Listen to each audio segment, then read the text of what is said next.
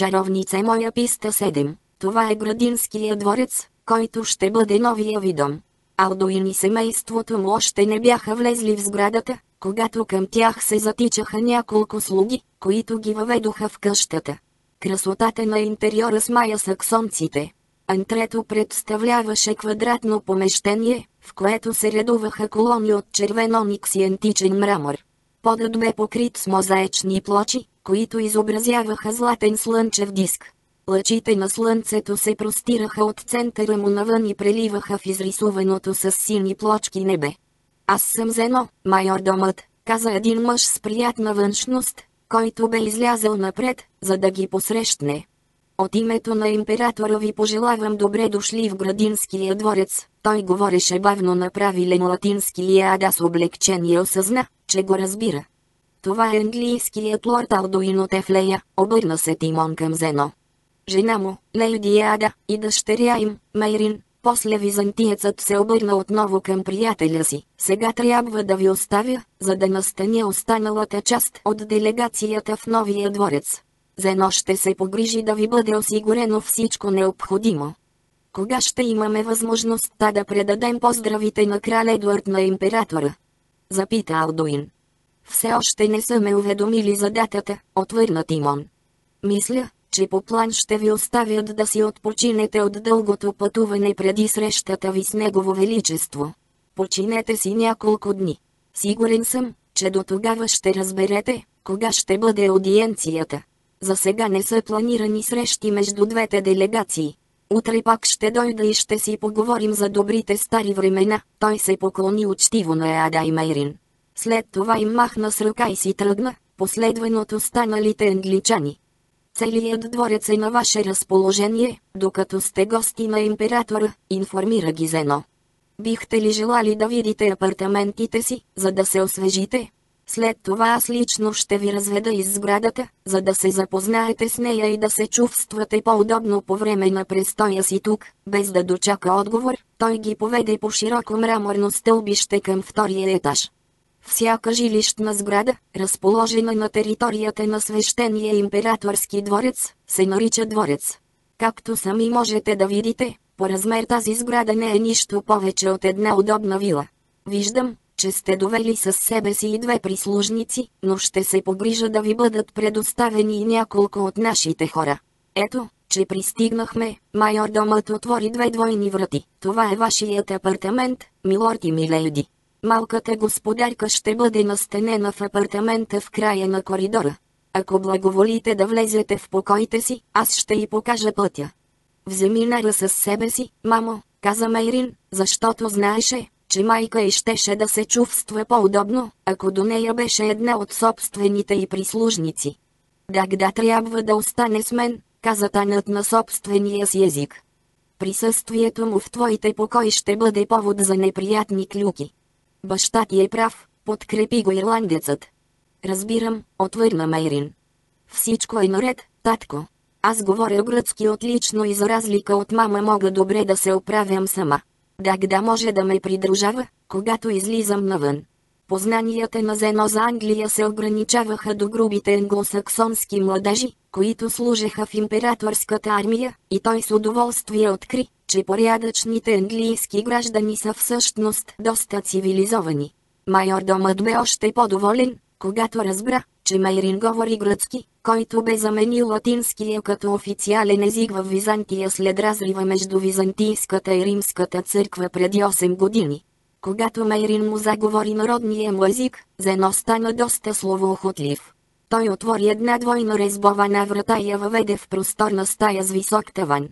Това е вашата стая, млада господарке. Той прекоси помещението и отвори още една резбована врата, а това е спалнята ви. Едната стени на първата стая представляваше редица големи прозорци. Майрин отиде до тях и възкликна. О, какви прекрасни градини имате, Зено! И колко е красив изгледът към морето! О, в този великолепен град наистина ще бъда щастлива! Майор домът засия от гордост. Вие принадлежите на Константинопол, млада господарке. Той е град на красиви жени, а вие сте най-красивата жена, която някога съм виждал. Простете ми дързостта, но аз никога не съм виждал коса или кожа с цветове като вашите. В моята страна това е нещо съвсем обикновено, отвърна Мейрин с повече самоувереност, отколкото чувстваше в действителност. До сега никой, нито дори и слуга, не й бе казвал, че е красива. На момичето страшно му се прииска да намери огледало и да види какво се бе променило у нея по време на пътуването. Вие сигурно искате да се освежите след дългия път, каза Зено. Ще наредя да ви донесат студено вино и сладки и лично ще избера прислужничките ви. Една рядка перла трябва да се поставя в отговарящ на красотата и обков, и той се оттегли с поклон. Доволна, че най-после бе останала сама, Мейрин започна да разучава новия си дом. Подът на главната стая бе покрит с плочи от бледо-жълт мрамор. Стените представляваха широки, редуващи се златисти и кремави ивици. Таванът бе позлатен. Всички мебели бяха позлатени и инкрустирани с слонова кост. Лампите и стойките за факлите бяха изработени от сребро и някои от тях бяха украсени с полускъпоценни камъни. До вратата за спалнята беше поставена великолепна ваза от светло-виолетов нефрит, която бе пълна с пълнови пера. Майрин влезе в спалнята яхна от възхищение. Върху мраморните стени бяха окачени великолепни картини, чието ярки цветове изобразяваха музиканти и танцори. Всяка картина беше поставена в позлатена рамка, украсена с корали, лапис лазоли и перли и бе отделена от следващото платно от ивици златист мрамор. Подът бе покрит с плочи от крема в мрамор, прорязан от зелени жилки. До едната стена се намираше легло от позлатено дърво. Над него висяха завеси от бледо-зелена коприна, които вървяха в тон с ковертюрата. До леглото бе поставена инкрустирана с слонова кост масичка, върху която имаше напълнена с благовонно масло сребърна лампа. И тук едната от стените беше само от прозорци, обърнати към императорските градини и морето зад тях. Момичето отвори още една врата и видя малък коридор, в края на който се намираше друга врата.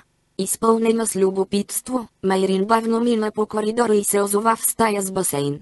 Басейнът не беше голям и тя се зачуди за какво ли го използват. Момичето свира мене и се върна в спалнята, където откри нещо, което бе обягнало от погледа и преди. Огледало, и при това какво огледало? Това не бе обикновен полиран кръг от блестящ метал, а истинско стъкло, при това достатъчно голямо, за да се види цялата. Майрин застана пред него и се загледа в изображението си, но не можа да открие никакви промени във външността си. Тя се обърна и видя, че майка е влязла в стаята. Какво има, детето ми? Изглеждаш толкова разочарована, каза Ада. Мислех си, че нещо в мен се е променило, мамо, отвърна момичето. Ти се променяш всеки ден, скъпа моя. Ти растеш. Не. Аз изглеждам така, както си бях, когато напуснахме Англия. Майор домът Зено ми каза, че съм красива. Красива ли съм, мамо? Еада се поколеба за миг, но след това реши, че е най-добре да каже истината на дъщеря си. Да, дъще, ти си много красива. Но аз изглеждам така, както и преди. Ти винаги си била красива, Майрин, отвърна Еада с смях. Спомням си, че точно това си помислих, когато те видях за първи път. Ти просто си свикнала с външността си, а и не си горделиво дете.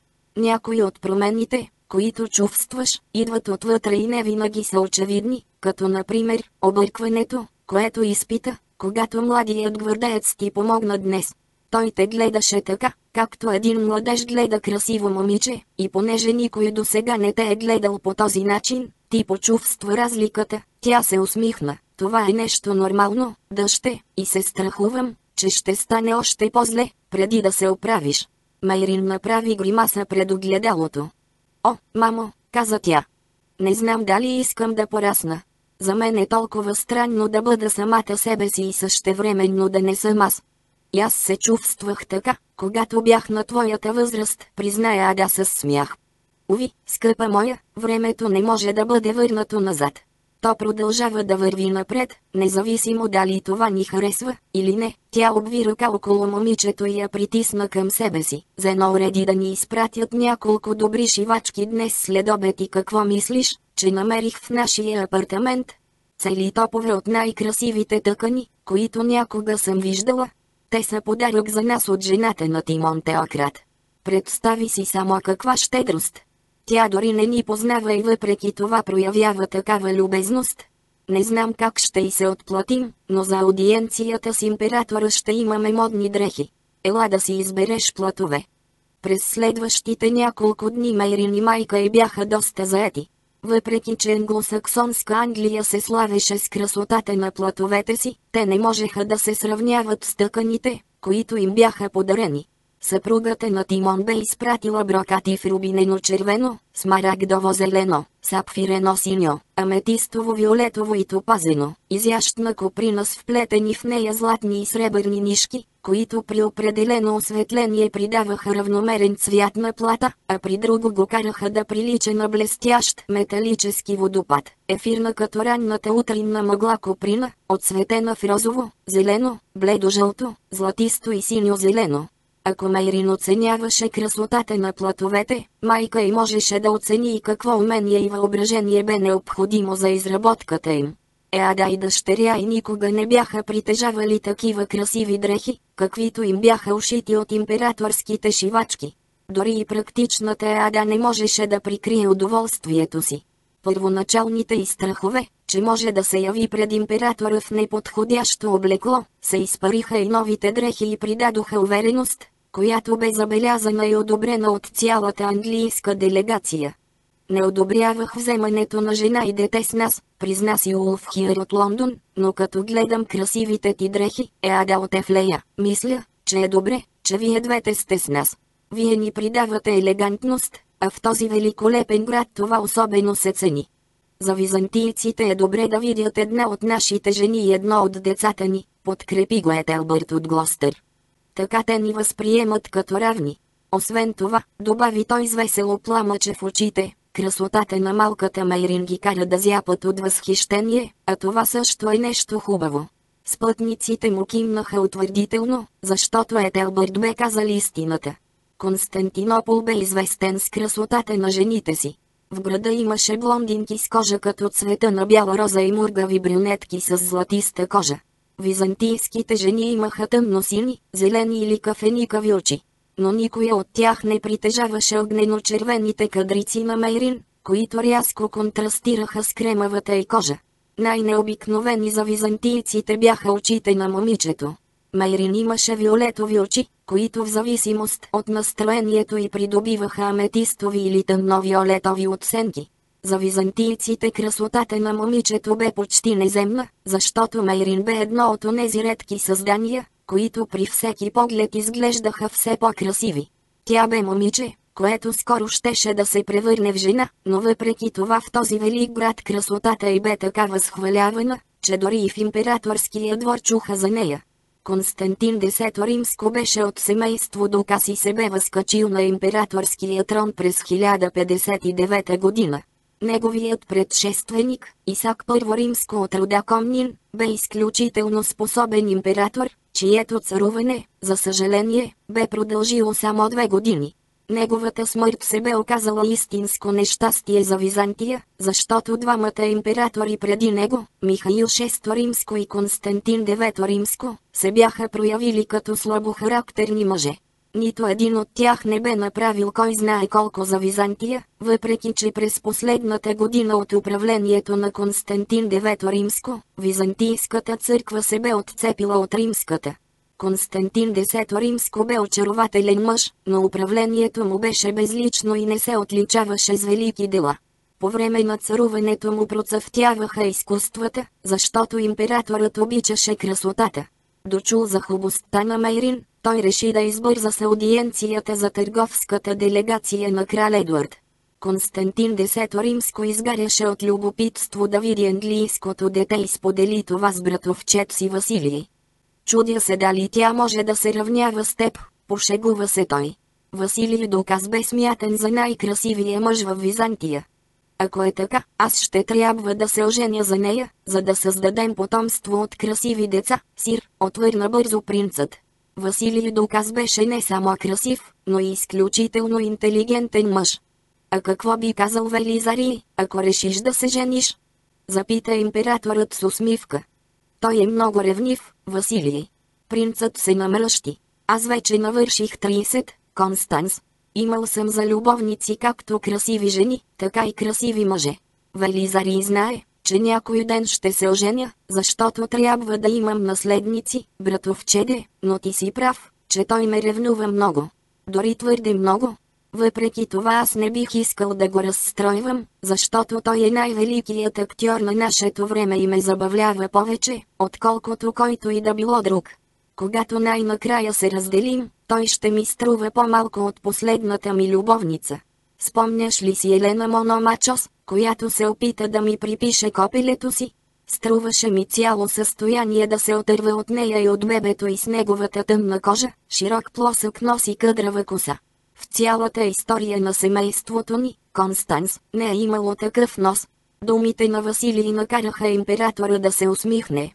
Мислиш ли, че това английско момиче е наистина толкова красиво, колкото твърдят, Василий? Никога до сега не съм чувал да се говори толкова много за дете, което още не е станало жена. Дочух, че тя вече не можела да излезе в града, без да бъде последвана от огромна тълпа. Хората не може ли да повярват, че косата е истинска, и се опитвали да я докоснат, за да се уверят в това. Някои дори твърдят, че това не е коса, а огън, бледосилните очи на императора бяха изпълнени с любопитство. Горкото дете, каза съчувствено принцът. След всичко това хората ще започнат да приписват чудеса и нещастия на косите й. Но днес след обед ние сами ще видим доколко са верни слуховете, нали? Майрин щеше да се пръсне от вълнение. Никога до сега не беше виждала император, не се бе срещала дори и с своя крал, но бе уверена, че набожният Едуард Английски би бледнял пред великолепието на византийския император. Момичето стоеше пред огледалото и гледаше изображението си. Майрин бе облякла туника от светло-виолетов брокат с втъкани в плата златни и сребърни нишки. Дрехата имаше широки ръкави и бе облечена върху долна туника с тесни ръкави. И двете дрехи имаха високи, кръгли яки, но долната достигаше до пода, а горната само до коленете. На Майрини се струваше, че новото й облекло я прави да изглежда по-голяма. На момичето му се искаше майка и да не бе настоявала толкова много дъщеря и да остави косата си да се спуска свободно по раменете. Това беше толкова детинско. Майрин въздъхна дълбоко. В крайна сметка, утре тя щеше да навърши 13 години. На тази възраст момичетата се омъжваха, но Майрин знаеше, че баща и все още не я бе обещал на никого. Когато момичето се опитваше да повдигне въпроса пред него, той се усмихваше нежно и казваше, твърде рано, ангелчето ми. Няма да те дам на кой да е. Ти, Майрин, ще се омъжиш за много специален човек и Майрин се питаше какво прави един мъж специален. Погледни челото си, дете, каза Ада, която се беше приближила до дъщеря си. Там се е оформила бръчка. За какво си се замислила толкова дълбоко, че си толкова разстроена? Трябва ли да оставя косата си неприбрана, мамо? Усмивката изчезна от устните на Ада. Да, отвърна твърдо тя. Ти си девойка, дъще. Обичаят на нашия народ е девойките да оставят косите си неприбрани или да ги връзват на плитки.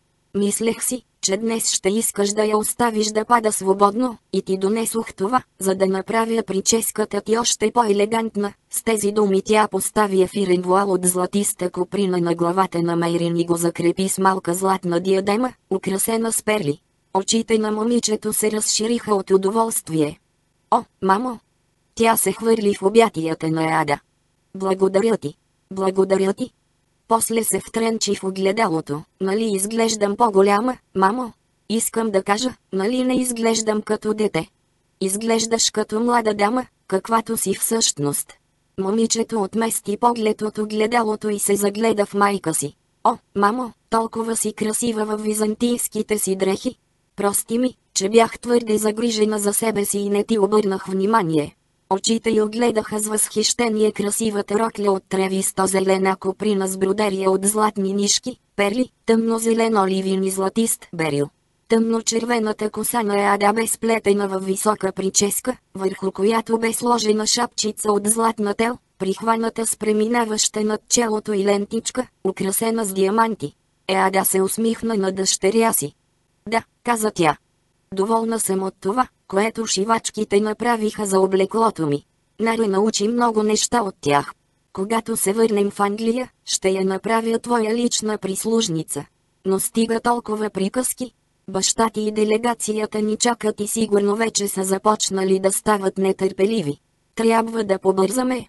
Пратениците на крал Едуард трябваше да бъдат прияти в голямата зала на императорския дворец. Англосаксонците с изненада разбраха, че императорът бе изпратил по една красива дреха от тъмно-синя и жълта коприна за всеки един от тях. Делегацията бе придружена до голямата зала от императорските евнуси, които обясниха, че жените трябва да останат на входа на залата за аудиенции, докато не бъдат повикани. Началникът на евнусите довери на Ада, че императорът бил изключително нетърпелив да види детето с огнената коса. Като каза това, евнухът протегна ръка и почти срамежливо докосна една от кадриците на Мейрин. Еада прикри усмивката си и евнухът продължи да говори. Днес императорът ще седи върху трона на Соломон. Никога през живота си не сте виждали нещо подобно, миледи. Не се страхувайте от нищо, защото в залата ще бъдете в пълна безопасност, завърши той загадъчно. Еада и Мейрин се зачудиха какво искаше да им каже. Голямата зала на императорския дворец беше най-красивото нещо, което англосаксонците бяха виждали. Стените на помещението бяха от чисто бял мрамор. Всеки мраморен блок беше отделен от съседния с широка ивица чисто злато, която започваше от пода и стигаше до тавана. Колоните в залата бяха от тъмно-червен мрамор, прорязан от златисти жилки. Цялото помещение се осветяваше от огромен златен полилей, окачен на посребрени медни вериги. Мраморният пот на залата бе посипан с благоуханни рози, лаврови и върбови клонки и сладък розмарин. Под стъпките на делегацията листенцата се мачкаха и във въздуха се издигаше фин прашец, който изпълваше залата с екзотичен аромат. Подаден от евнуха знак, Майрин и Ада спряха. От мястото, където бяха застанали, се откриваше великолепна гледка към цялата зала. В дъното на залата, точно пред себе си, видяха седящия върху трона император Константин X Римско. Той бе облечен в дълга туника от бяла коприна, върху която носеше пурпурно-червено кралско на метало с отвор от дясната страна. Дрехата беше украсена с бродерия от златни квадрати отпред и отзад. На краката на императора имаше чифт на тежали от скъпоценности обувки от ален сатен.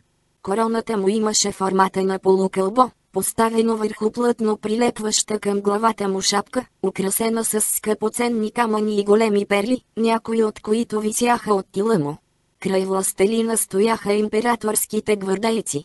Повечето от тях идваха от византийски благороднически родове, а останалите бяха синове на предани на императора богаташи. Край стените на залата бяха разположени войници от Варандийската гвардия.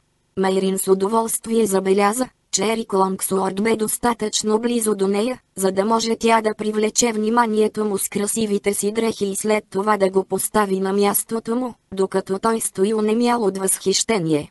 Само че за голямо разочарование на момичето, Ерик Лонгсуорд не отместваше силните си очи от пространството пред себе си. Майрин отново погледна към делегацията и с удивление забеляза, че обсипаните с скъпоценни камъни дървени лъвове, които оформяха облегалките за ръцете на императорския трон, се движеха. Мамо!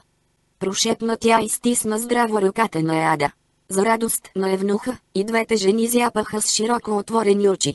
Лъвовете не само се движеха, но и отваряха уста и ревяха като истински. Над трона имаше изработени от сребро и цветен емайл птички с очи от скъпоценни камъни. Те също бяха част от украсата на трона птичките започнаха да пърхат с криле и да пеят и тронът започна да се издига, докато почти се опря в украсения с орнаменти таван. От някакво скрито място в залата се чу песента на хор, която възхваляваше богоизбраната Византийска империя. Изражението върху лицата на двете жени накара Евнуха да засияе от задоволство. Не е ли прекрасно?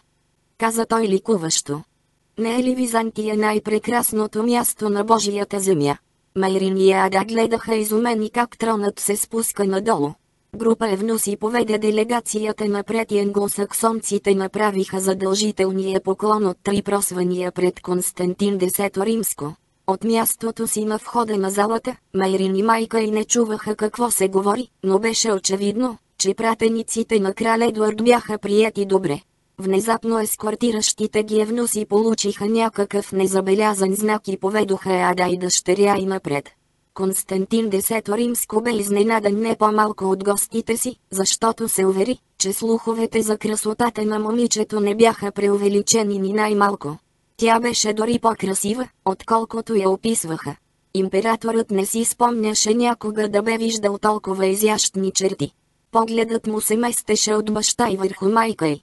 Те и двамата бяха красиви, но Константин Десето Римско не можеше да повярва, че бяха успели да създадат това изключително момиче. Той се облегна назад и прошепна на братовчет си. Е, Василий, какво мислиш? Никога не съм предполагал, че някой може да се мери с теб по красота. Нито пък аз, бе бързият отговор. Тя е въплъщение на съвършенството, Констанс. Сир, каза евнухът, който водеше процесията. Разрешете да представя на Ваше Величество Лейди Ада от Ефлея и дъщеря й, Лейди Мейрин. Майката и дъщерята се поклониха на императора. Добре дошла в Константинопол, милейди, обърна се императорът към Ада. За наше удивление, слуховете за красотата на дъщеря ви се оказаха верни.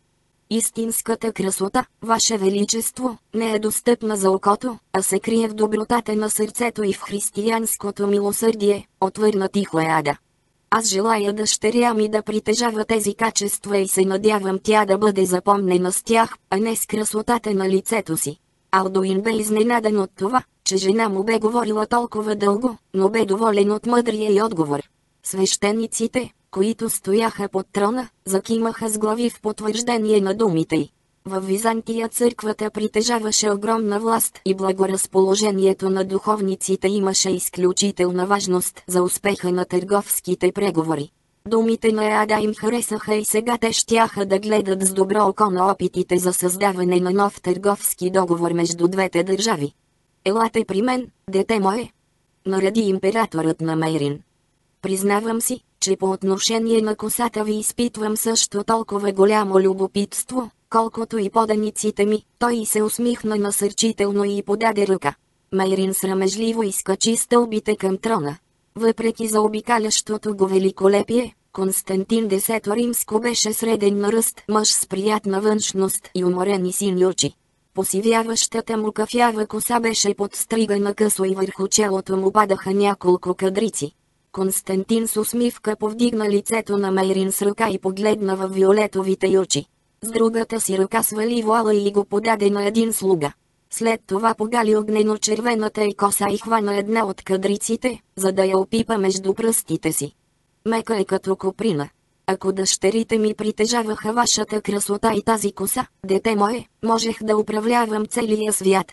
Този неочакван и екстравагантен комплимент накара Мейрин да се изчерви. Императорът се разсмя и я пусна. Мисля, че у вас има нещо магическо, детето ми. Подобна красота със сигурност е своего рода магия. Той свали от ръката си един пръстен с голям диамант, чиято сърцевина хвърляше оранжево-червени отблясъци. Вземете това за спомен от мен, дете мое. Говори се, че това е идеалният скъпоценен камък. Ако това е вярно, то той принадлежи на съвършената красавица. Когато остареете, можете да покажете този камък на внуците си и да им кажете, че сте го получили на младини за спомен от най-великия християнски император, чието сърце сте покорили. Изумена, Майрин изрече, заеквайки някаква благодарност и нервно слезе по стълбите и застана до майка си. Тя трепереше и си изненада осъзна, че и се иска да се разплаче.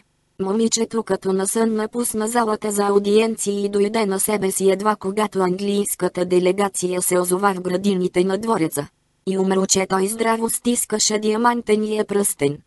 Ти си щастливка, каза и Ада. Трябва да бъдеш поласкана, че успя да привлечеш вниманието на императора.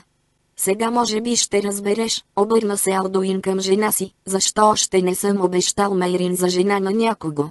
Знам, че според теб това се дължи само на бащинската ми гордост, но не е така. Майрин не е обикновено момиче. Тя не е просто красива. Майка е била от кралски род и въпреки че ние я отгледахме, нейното потекло е много по-благородно от нашето. Ако сме умни и търпеливо изчакваме подходящия момент, аз ще и намеря добър съпруг. Край на писта, 7. Чаровница моя писта 8. Искаш да каже, нормански съпруг, тихо каза Ада. Точно така. А и защо да не е Норман?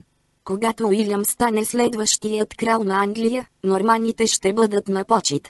За дъщеря ни ще бъде добре да се омъжи за някой богат и могъщ нормански лорд. Такава женитба няма да навреди и на сина ни, за когото може би също ще успеем да намерим норманска съпруга. Единственото нещо, което Брант обича истински, е Флея и една норманска жена с богата зестра може да му помогне да увеличи земите ни някой ден. Някъде на този свят сигурно има богат мъж с незаконородена дъщеря, която той иска да омъжи добре. Ние имаме добро име и много земи и аз ще се погрижа двете ни деца да се задумят добре. Преди не съм знала, че сте толкова амбициозен, милорд, отвърна жена му с лека нотка на неодобрение в гласа си. Времената се менят, мила моя. Англия никога вече няма да бъде такава, каквато я помним ние с теб. Онези, които не осъзнават това, са обречени. Аз обаче не искам родът ми да бъде прекъснат и земите ми да попаднат в ръцете на чужденци, които няма да се грижат за хората ни така, както го правим ние. Ако искаме да оцелеем, е ада, трябва да се приспособим към промените.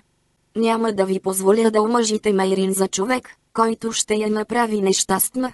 Как можете да си помислите подобно нещо, леди? Укория той. Жена му въздъхна дълбоко. Вече не съм сигурна в нищо. Англия е толкова далеч, а Брант ми липсва много. И Ефлея също, тя се овладя и погледна съпруга си с тъжна усмивка. Не мисля, че пътуването ми понася, милорд. По-щастлива бях като жена на един обикновен тан от Мерсия. Може би щеше да бъдеш по-щастлива, ако те бях оставил у дома, Еада, но ще изминат поне две години, преди да се завърнем в Англия. Не можех да понеса мисълта да бъда разделен от теб толкова дълго. Знам, че това е доста егоистично от моя страна. Константинопол ме потиска, отвърна тя. Той е толкова голям и пренаселен. Толкова шумен и мръсен. Какво ще правя аз, докато ти останалите преговаряте по условията на договора? Не ми е приятно да стоя без работа. Майрин се беше съвзела напълно и се намеси в разговора на родителите си. Ще разглеждаме града, мамо. Тук има толкова интересни неща. Няма да ни бъде скучно нито за минута, обещавам ти. Как да излизам в града, когато цветът на косите ти привлича огромни тълпи? Отвърна раздразнено Еада. Ще си прибера косата и ще я скрия под шапка, мамо. Еада се усмихна и прегърна дъщеря си. Знаеш ли, каза тя, мисля, че си права. Трябваше сама да забележа това. Ти растеш, Майрин. Веселите й думи прикриха болката в сърцето й, но не можаха да излъжат Алдуин. Може би той действително бе постъпил неразумно, като я бе откъснал от нейния познат и безопасен свят и я бе отвел толкова далеч от дома й. Погледът му започна безцелно да оглежда императорските градини и зелените хълмове отвъд Босфора. Ако наемеха вила някъде извън града, може би Еада щеше да се почувства по-добре. Алдуин погледна дъщеря си. Въпреки че момичето беше възпитавано в християнската вяра, то почиташе традициите на предците си. Празникът Самхейн отбелязваше края на друидския календар и се смяташе за ден преди най-силно духовната нощ през годината. Хората вярваха, че през нощта на Самхейн вратите между човешкия свят и света на духовете се отваряха широко и обитателите на единия можеха да посетят другия. Християните наричаха този ден празник на вси свети. В мига, в който слънцето слезеше под хоризонта, огньовете на Самхейн се извисяваха към небето като символ на неугасващата светлина на човешката душа. Смяташе се, че през тази вечер хората трябва да си дадат прошка един на друг. За сънародниците на Мертир Конел, да се родиш на Самхейн бе чудесно знамение. Родените на този празник бяха благословени от старите богове. Дагда с усмивка си помисли, че Майрин сигурно бе едно от тези деца, докато наблюдаваше как момичето приготвя дървата за огъня си. Алдуинат Елсбеор може и да се беше изненадал, когато дъщеря му бе обявила, че е намерила идеалното място за огъня си в императорските градини, но Дагда изобщо не бе изненаден. Ирландецът не се изненада и когато Мейрин извади изпод туниката си кожена кесия с три дървени трещици в нея и благоговейно ги постави върху внимателно подредените дърва. Дъбови ли са? Попита я той, въпреки че знаеше отговора. Дъбът бе свещеното дърво на друидите. От гората са. Не знаех колко дълго ще отсъстваме от Англия и за това си донесох 30 дъбови трещици. Огънят няма да бъде добър без дъб, даг да. Той кимна. Майрин никога не забравяше малките подробности. Чудя се, каза тя, дали Константинопол е виждал огъня на Самхейн преди. Говори се, че нашият народ е дошъл от тъмнината, прекосявайки степите на север от тук, за да премине през цяла Европа и да достигне до днешните си земи. Никога обаче не съм чувал в Византия да е имало келти. Е, сега в Византия има келти, каза тихо момичето. Очите й се втренчиха в хоризонта, където умореното от дневното си пътешествие слънце се готвеше да изчезне в леглото си от пурпур и злато. Дагда коленичи до малката лампа, която двамата бяха донесли. Неговата задача беше по-трудна от тази на Мейрин. Той трябваше да не изпуска слънцето от погледа си и същевременно да успее да запали факлата на момичето точно на време. Майрин нито за миг не бе и помислила, че гигантът няма да успее да се справи и излезе права. Лампата докосна факлата. Докато слънцето бавно изчезваше зад хоризонта, момичето допря факлата си до кладата и пламъците лумнаха. В императорските градини цареше пълна тишина. Дори и листата поклоните на дърветата и водите на мраморно море не помръдваха. Сякаш целият свят изведнъж бе замлъкнал. Дагда и Майрин стояха прави и се молеха с затворени очи. Внезапно дървата в огъня изпръщяха силно. Дагда отвори очи и погледна към момичето. През целия си живот, каза той, не знам да е имало миг, по-тих от този, когато ти палиш огньовете си. Особено през тази вечер, която носи спомена за раждането ти. Тя му се усмихна. Никога не успях да разбера, защо това е така, Дагда, но в тези огньове има нещо. Тук тя млъкна за миг и свира мене, не мога да го обясня. Той е в кръвта ти. Не е изминало много време от дните, когато келтите почитаха майката и отеца, и всичките им деца. Независимо от това, на което ни учи християнската религия, ние все още знаем, че дърветата, водите, животните и всички живи същества си имат своите духове. Христос не ни е забранил да почитаме тези духове, но хората, които стоят начало на църквата, са завистници, които искат последователите им да вярват в един единствен Бог. За нас е най-добре да се съгласим с тях и след това да продължим така, както си знаем, миледи. Небето над тях бързо бе станало мастилено черно. Една единствена студена звезда грееше ярко над главите им. Майрин гледаше оранжевите пламъци на огъня си и съзнанието й се пренесе в почти хипнотизиращия вихър на огнените езици. Момичето пое дълбоко дъх и докато издишваше въздуха от дробовете си, усети как бавно започна да се издига нагоре и да се отдалечава от тялото си и само след миг се намираше над огъня. Това се случваше всяка година. За миг Мейрин си спомни за първия път, когато бе изпитала това чувство. Тя току-що беше проходила и баща и много се гордееше с това, че дъщеря му притежаваше дарбата на старите богове, дарба, която тя бе развила с помощта на старата кател и дагда. Тази дарба й позволяваше да различава искреността от коварството в сърцата на хората, даваше и познания по медицина и понякога й позволяваше да вижда неща, които не бяха достъпни за очите на повечето просто смъртни. Момичето се страхуваше от последното, защото, откакто беше напуснала Бретон, нямаше кой да я учи как да контролира виденията си, а познанията на Дагда бяха ограничени. Майрин мъдро не говореше за това с никого, защото, въпреки че използваше способностите си само с добри намерения, имаше хора, които щяха да се страхуват от нея и щяха да я обявят за магиосница или вещица. В момента, в който душата й щеше да се освободи от смъртното й тяло, един дрезгав глас я върна обратно с думите, в името на императора. Майрин стреснато отвори очи като подплашена сърничка. До нея се беше появил един взвод варандийски гвардейци. Тя гневно се обърна към тях. Как смеете да ми се натрапвате? Не, момиче, на трапницата си ти. Това са императорските градини и ти си влязла без разрешение, бе бързия отговор. Коя си ти? Подозирам, че нямаш право да бъдеш тук. Преди Майрин да успее да отговори, от тъмнината излезе някакъв мъж и заговори тихо на гвардееца. Това е Лейди Майрин, капитане. Тя е дъщеря на английския търговски посланик. Изненаден съм, че не я познахте, защото целият град говори за огнено-червената и коса.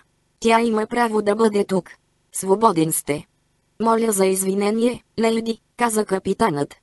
Аз просто изпълних дълга си, той стегнато отдаде чест и поведе хората си обратно. Майрин се обърна, за да огледа мъжа, който я бе защитил. Тя забеляза, че Дагда бе изчезнал, но знаеше, че ирландецът не е далеч. Благодаря ви, милорд. Познаваме ли се? Тя се чудеше кой ли беше този мъж, на когото капитанът на гвардейците се бе подчинил толкова безропотно. От блясъците от огъня осветиха лицето на непознатия. Майрин се вгледа в мъжа и усети, че не й достига въздух. Той бе най-красивия мъж, който тя бе срещала през живота си. Аз съм принц Василий Дукас, братовчет на императора, отговори защитникът ти. Не са ни запознавали официално, но откакто ви видях вчера, знаех, че трябва да се срещнем. В видали сте ме вчера. Заекването и прозвуча глупаво и Мейрин се ядоса на себе си. Аз стоях отдясно, зад трона на братовчет си, бе отговорът на Василий. Не съм изненаден, че не сте ме забелязали. Тронът на Соломон е изумително изобретение, особено когато някой го вижда за пръв път, той се стараеше да я успокои. Кажете ми, защо сте запалили този огън? Това е огън за Самхейн, милорд. Когато моят народ почитал майката и отеца, е имало обичай да празнуват четири празника в годината. Имболч, който отбелязва удължаването на дните, отстъпването на зимата и настъпването на пролетта.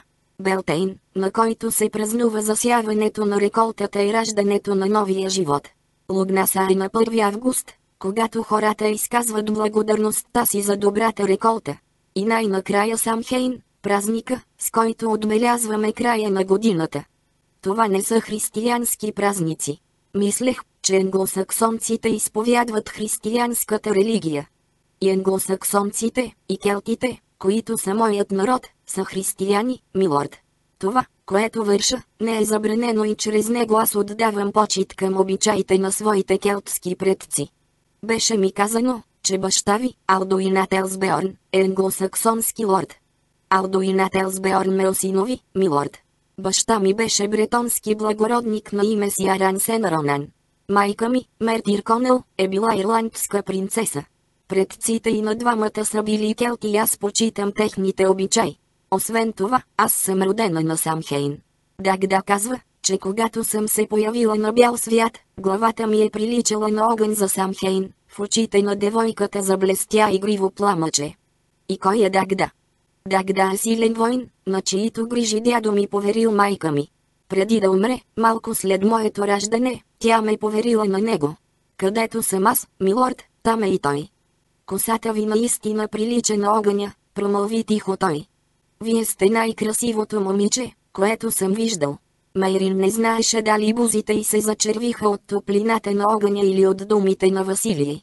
Благодаря ви за комплимента, милорд, каза тя бавно.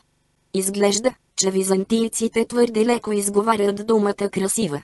Откакто съм в Константинопол, доста често чувам тази дума, Дагда отново се появи в осветения кръг и Майрин завърши. Сега трябва да си вървя, милорд.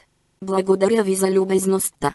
Принцът обаче не се предаваше толкова лесно. Оставете своя дракон да се погрижи за огъня, каза той.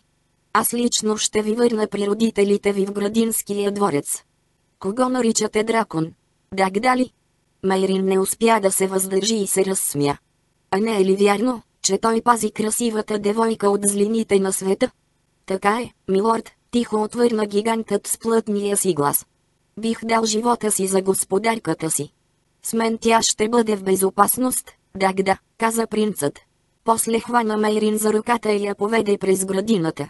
Ръката й бе топла и Василий усети, че момичето трепери леко.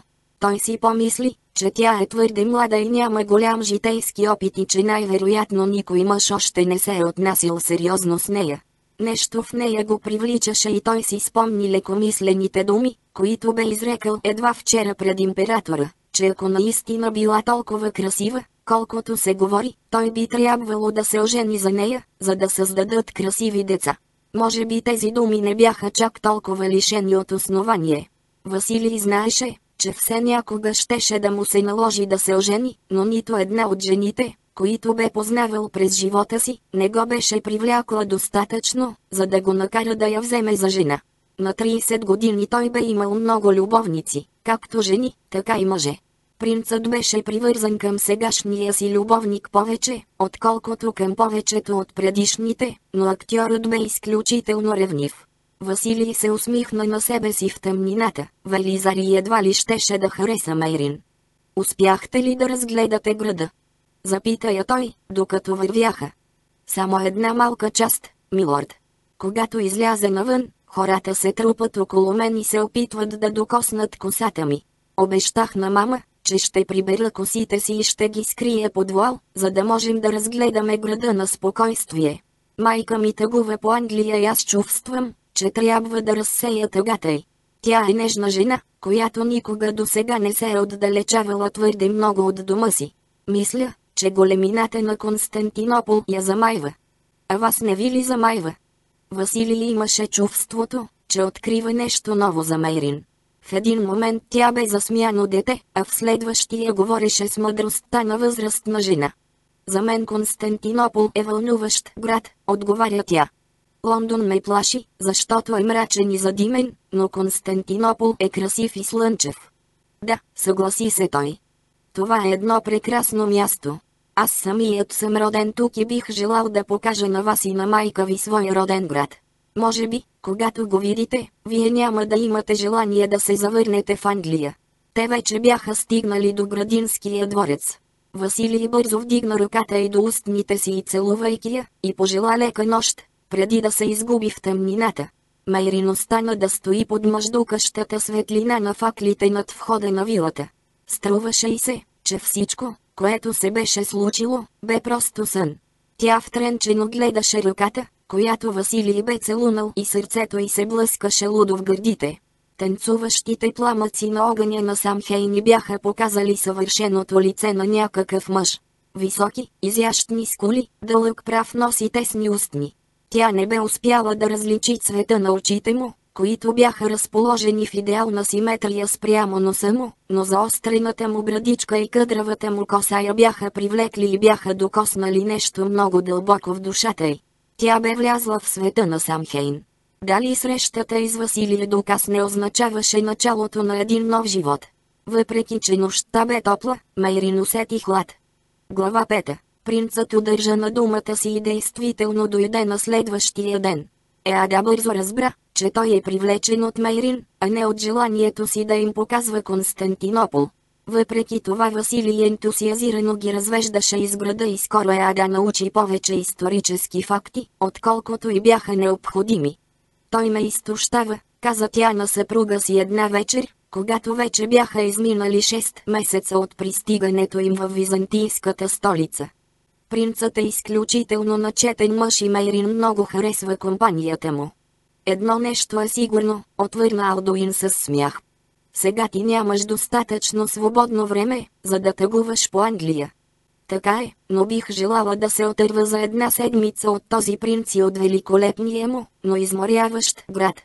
Не можеш да оставиш Мейрин да се разхожда сама с Василий Дукас. Еада погледна на мръщено съпруга си. Знам задълженията си на майка, милорд, сряза го тя. Докато той излиза с Мейрин, аз също ще бъда с тях. Тя погледна Алдуин и в сините й очи проблесна игриво пламъче. Знаете ли, милорд, че и Константинопол като Рим има 14 района и че тъй както един от районите на Рим се намира на другия бряг на река Тибър, един от 14-те района на Константинопол лежи отвъд Златния рок, в Пера. Известно ли ви е, милорд, че Константинопол има 50 укрепени врати и че стените му имат дължина 30 мили, както и че огромните му запаси от зърно и вода му позволяват да издържи безкрайно дълго на обсада. Знаете ли, милорд, че огромната верига, пресичаща Златния рок, защитава Константинопол от нападение по море? Алдуин се разсмя и Мейрин, която междувременно беше влязла в стаята, се присъедини към шегата. Знаеш ли, татко, че акведуктите гарантират на хората достатъчно запаси от прясна вода по всяко време и че, за разлика от западноевропейските градове, Константинопол има подземна канализация, която отнася отпадъците на града. За разлика от нашите английски градове, татко, улиците са осветени през нощта. В града има три болници, в които работят и лекарки. В Константинопол има пожарна команда и почти 1 милион жители, всичко това е доста впечатляващо, съгласи се саксонецът, но аз подозирам, че принцът се интересува много повече от теб, дъще, отколкото от всички факти и цифри, с които ти е натъпкал главата, само защото е искал да бъде близо до теб. Татко. Бузите на Мейрин поруменяха, но Еада веднага застана на штрек. Какво си чул? Попита тя съпруга си. Какво сте си говорили с принца, милорд? За сега нищо, но той пожела да говори с мен за нещо лично и ще ме посети още днес. Алдуина Телсбеорн погледна дъщеря си. Е, Майрин, какво ще кажеш? Ако принц Василий поиска ръката ти, да му я дам ли? Ще бъдеш ли щастлива в Константинопол? Майкът и аз няма да можем да останем тук след приключването на преговорите по търговския договор. Като се има предвид начина, по който византийците се отнасят към бизнеса, Преговорите ще продължат около две години. След изтичането им ще трябва да напуснем Византия. Мама ме е учила, че една жена може да избира само между две неща в живота си – църквата и брачното ложе, отвърна Мейрин. Аз не чувствам влечение към църквата и следователно ще се омъжа, за когото ти решиш, татко. Не, Мейрин, каза тихо бащай. Бих искал ти сама да избереш съпруга си. Помисли за това, което ти казах, дъще. Херцог Уилям ще бъде следващият крал на Англия и ако аз се завърна в Англия, ще трябва по необходимост да се омъжа за Норман. Норманите са горди мъже, а моята зестра не е голяма и аз не притежавам земи в Англия. Едва ли някога ще получа по-добро предложение за женитба от това, което може би ще направи принцът. Ти си красива, Майрин. Има мъже, които ще искат да те имат, въпреки че не си богата. Но принцът ще ме обича, отговори момичето. Толкова много ли искам, татко? Трябва сама да си отговориш на този въпрос, дъще. Аз обичам майка ти, а си Аран Сенарона не обичал Мертир Конел, но за много мъже бракът е само една сделка, която им позволява да увеличат имотите и богатството си. Но дори и в такива случаи, ако мъжът и жената се уважават, между тях може да възникне приятелство, което често прераства в любов. Говориш като истински англосаксонец, татко. Норманите не уважават и не оценяват жените си, както правят англичаните. Може и да съм млада, но знам, че за норманите жените са просто красиви предмети и средство за продължаване на рода им. Ти си умен, но твоето право на избор не ми предоставя никакъв избор. Аз мога да се омъжа за някой неизвестен норман, който ще ме вземе само заради красотата ми, ще презира бедността ми и ще се отнася с мен като с своя собственост. Или пък за Василий Доказ, който е любезен човек и ще се отнася към мен с уважение. Разбира се, че бих избрала принца. Бих ли могла да си намеря по-добър съпруг? Еада поклати глава. Вие и двамата избързвате, каза тя загрижено. За сега принцът е поискал само да разговаря с теб, Алдуин, и изобщо не е споменал Мейрин. Дъщеря ни не трябва да таи на празни надежди. Алдуин се усмихна. Ако принцът е искал да си говорим за нещо друго, щеше да ми каже какво е то. Той ми каза, че искал да поговорим за нещо лично. Какво друго може да бъде, ако не Мейрин? Чух слухове. Каза Ада. Слухове за принца и за актьора Велизарии. Това са само клюки. Алдуин се направи, че не е взел на сериозно думите на жена си. Той знаеше повече по въпроса, но как можеше да обясни всичко на Ада? Актьорът живее в двореца Буколеон, където живее и Василий Дукас, продължи рязко саксонката. Слугите може би клюкарстват, но няма дим без огън, милорд. Името на Велизарий често се споменава с това на принца. Той е най-великият актьор в Византийската империя. Императорът го уважава, а Василий му е приятел, отговори Алдуин. Приятелства от този род са нещо обичайно тук и не пречат на мъжа да се ожени и да бъде верен на съпругата си. Не забравяй, че съм живял тук в продължение на няколко години, Еада, и познавам обичаите на византийците. В приятелството на принца с актьора няма нищо необичайно. Ти винаги си се държал така, като че ли Майри не само твоя, каза Еада с нотка на горчивина в гласа. Но аз също я обичам. Искам тя да бъде щастлива и за това подобни слухове ме карат да се тревожа за нея. О, не се карайте заради мен. Помоли ги момичето и обви ръце около майка си. Мамо, ако принцът пожелая да се ожени за мен, аз ще приема с благодарност. Той е любезен, грижовен и забавен и аз знам, че ще ме направи щастлива. Еа да оправи една непокорна кадрица от косата на дъщеря си. Ти познаваш света толкова малко, скъпа моя, каза тя нежно. След това се измъкна от прегръдката на момичето и се обърна към съпруга си. Нека да се разберем така, милорд. Ако принцът наистина поиска ръката на дъщеря ни, нека да почака 6 месеца. Ако след изтичането на този срок двамата все още искат да се оженят, така да бъде. Алдуин се замисли за миг, след което попита. Майрин има ли вече женското течение? Не, милорд, отвърна Ада и се изчерви. Алдуин кимна. В такъв случай ще се съглася с условието ти. Ако бракът не може да бъде консумиран, не виждам защо трябва да избързваме. Еада въздъхна облегчено. За 6 месеца можеше да се случат много неща. А може би съпругът и грешеше и принцът нямаше намерение да поиска ръката на дъщеря им, а да поговорят за нещо друго. Когато Василий пристигна в градинския дворец, Еада и Майрин отсъстваха. Двете се разхождаха из градините на двореца и се възхищаваха на разцъфналите дървета и пролетните цветя, които бяха засети между фонтаните и езерцата с плуващи в тях риби. Когато един слуга дойде, за да им каже, че трябва бързо да се върнат във вилата, Еада изтръпна. Тя знаеше, какво означава това, че принцът наистина е поискал ръката на Мейрин. В противен случай Алдуин би се присъединил към тях, за да прекарат заедно след обеда. Мъжете седяха в градината пред вилата. И двамата се усмихваха. Зено наливаше вино в изящни златни бокали. Алдуин ги подкани да побързат смахване на ръка. Майрин, Еада, елате. Имам новини за вас. Той изчака двете жени да се настанят на меките табуретки до столовете на Алдуин и Василий. След това се обърна към тях, като че ли това, което щеше да им каже, трябваше да ги изненада. Скъпи мой, принц Василий ни направи честа да поиска от мен ръката на Мейрин. Аз, разбира се, се съгласих. Какво ще кажеш, Еада? Това наистина е чест за нас, милорд, каза бавно жена му, но дъщеря ни още не е жена и е твърде млада за брачното ложе. Ние вече обсъдихме това с съпруга ви, намеси се Василий. Аз се съгласих бракът да не бъде консумиран, докато Мейрин не стане жена. Сватбата обаче ще се състои на 1 май. След това дъщеря ви ще дойде да живее при мен в двореца Буколеон. Еада хвърли изпълнен с тревога поглед към Алдуин, но беше твърде добре възпитана, за да си позволи да му противоречи или да му иска обяснение в присъствието на византиеца. Ще стане така, както се споразумеете с съпруга ми, каза тя, но бих искала да ви запитам, защо бързате толкова. До 1 май остават само три седмици. Принцът ти се усмихна и тюркуазените му очи засияха. Аз се влюбих в Мейрин от пръв поглед, миледи.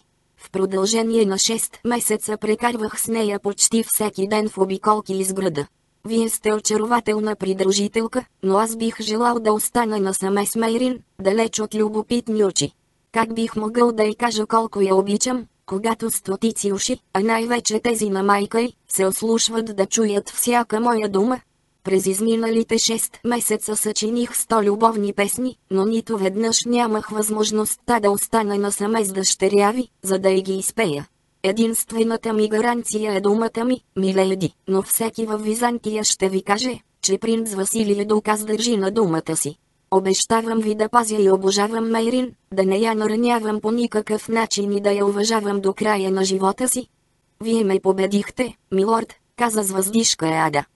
Какво бих могла да отговоря на такова обещание? Дайте ни благословията си, миледи, и той отново и се усмихна. Имате я. Алдоинат Елсбеорн стана от стола си и помогна на жена си да се изправи.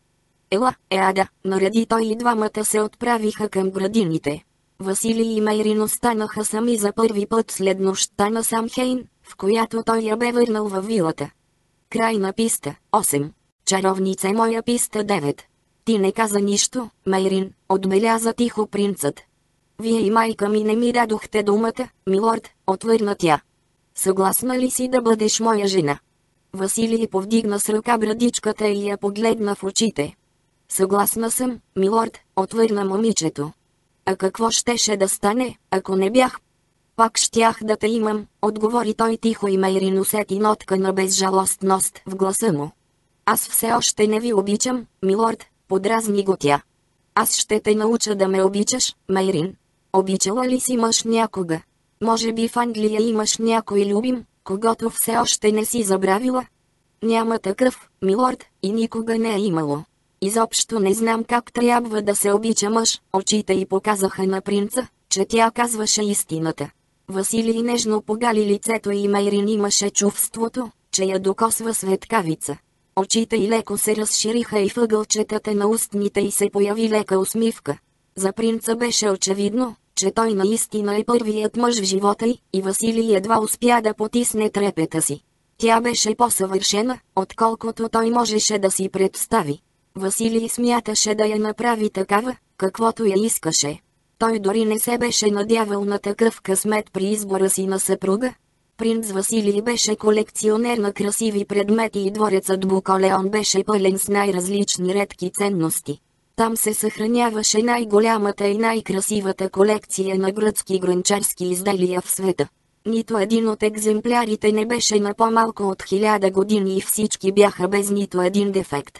Статуите, които принцът беше събрал, също бяха древни и нямаха никакви недостатъци. Той притежаваше и колекция от съвършени скъпоценни камъни. Като християнин, Василий можеше да има само една жена. Майрин с нейната несравнима красота щеше да бъде гордостта на колекцията му, едно ненадминато украшение, за което щяха да му завиждат, по което щяха да купнеят и на което щяха да се възхищават всички, които го видеха. Той погледна красивото и лице и по тялото му премина тръпка на желание. Кой знае кога щеше да я има. Очакването го възбуждаше още повече. Василий докосна с пръст съблазнителните й устни. Те бяха влажни и леко се разтвориха при допира на пръста му. Принцът забеляза, че гърдите й започнаха да се повдигат по-бързо под роклята. Очите му се вторачиха в нейните и той бавно потърка с пръста си чувствителната кожа на устната й. Целувана ли си от мъж? Не от баща ти или брат ти, а от някой любим? Попита я той. Не, отвърна тя задъхано. Нали ви казах, милорд, че нямам любим? Тогава аз ще бъда първия и единствен мъж, който ще го направи, Майрин. Ти имаш много чувствена уста, моя малка красавица. Устните ти биха накарали всеки мъж да полудее, той се наведе напред и устните му докоснаха нейните. Езикът му разтвори меката плът и единствено опита му го възпря да не я обладае още в този миг. Нещо в Мейрин сякаш щеше да експлодира. Сърцето й заби по-бързо и тя почувства, че отмалява. Прииска и се да получи още от непознатата страст, която обещаваха очите му. Обещах на родителите ти да не консумираме брака си, преди да станеш жена, Майрин, каза тихо принцът, но има и други начини да се задоволяваме един друг, докато чакаме да разцъфтиш. Ще те науча как да даваш и да приемаш страстта. Ти няма да се страхуваш от мен, нали, моя съвършена красавице? Не, милорд, Майрин наистина малко се страхуваше от внезапното и неприкрито желание, което този мъж бе проявил към нея, но не можеше да му признае, че се бои, след като той се държеше толкова нежно с нея. Василий усети това и се опита да я успокои. Желанието между мъж и жена е нещо хубаво и съвсем естествено, Майрин. Ти се страхуваш, само защото за теб това е нещо ново и непознато. Така би се чувствало всяко друго момиче на твое място. Повярвай ми, Майрин, аз никога няма да те нараня нарочно. Тя преглътна и бузите и се зачервиха. Вярвам ви, милорд. Принцът отново подпря брадичката и с ръка и усмихвайки се, я целуна още веднъж. През първия ден на май ти ще станеш моя съпруга, малка ми принцесо. Белтейн. Каза тя. Празникът на плодородието, на цветята и на планирането на новата реколта. Келтите смятат, че сватбите на този ден носят щастие. Означава ли това, че си доволна, че ще сключим брак в този ден? Да, милорд. Това, че въпреки непознаването на обичаите на моя народ, вие избрахте точно тази дата, е добро предзнаменование за мен. Ти ще живееш в Буколеон, Майрин. Това, разбира се, не е моя личен дворец.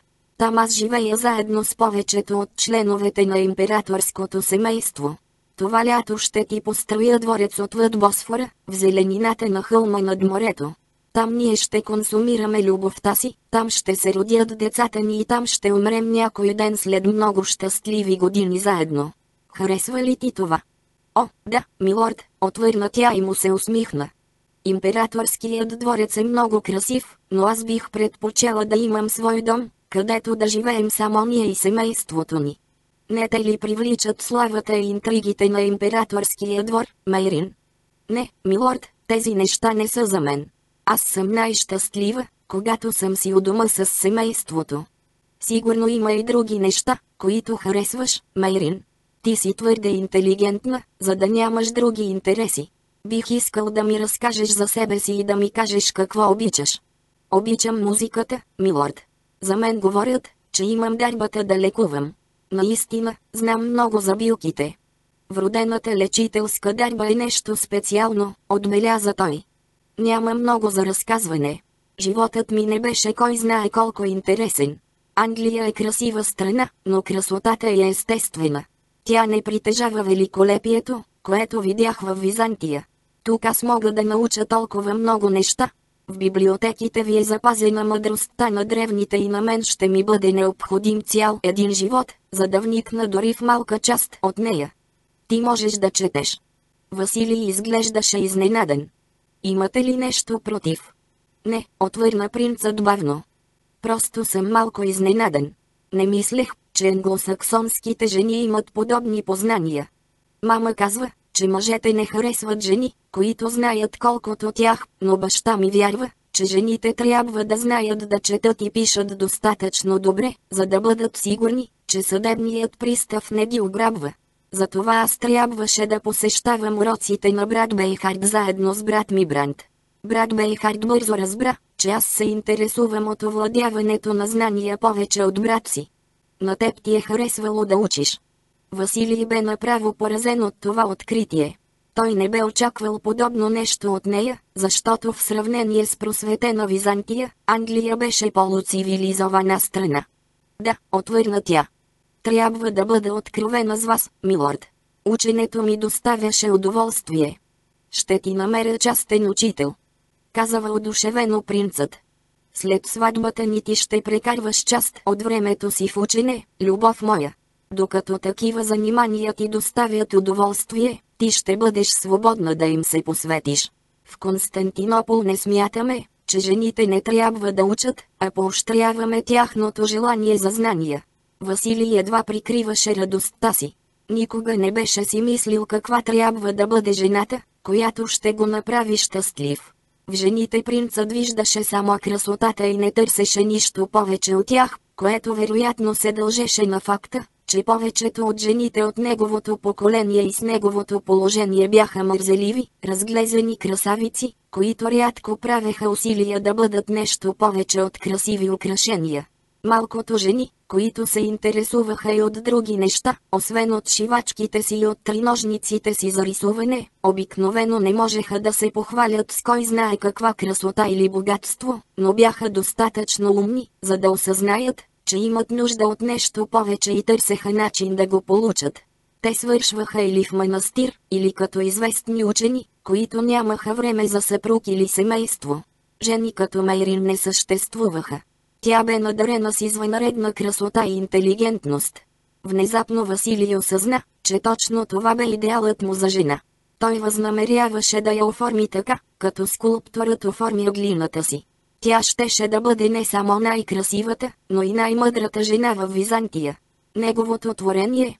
Инстинктът му подсказваше, че Майрин е добродетелна, и той щеше да я обича и да се грижи за нея толкова много, че тя никога да не бъде изкушена от друг. За другите жени тя щеше да бъде жив пример за съвършенство.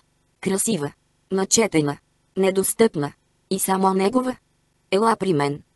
Каза той и я придърпа в скута си, прегърна я с едната си ръка, а с другата обърна лицето и към себе си. Обичам те. Каза той. Гласът му бе почти груб. Ще те науча да ме обичаш.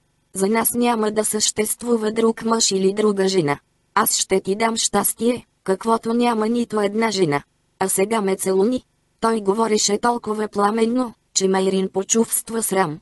Тя прехапа долната си устна и се опита да се отдръпне от него, но той я накара отново да го погледне.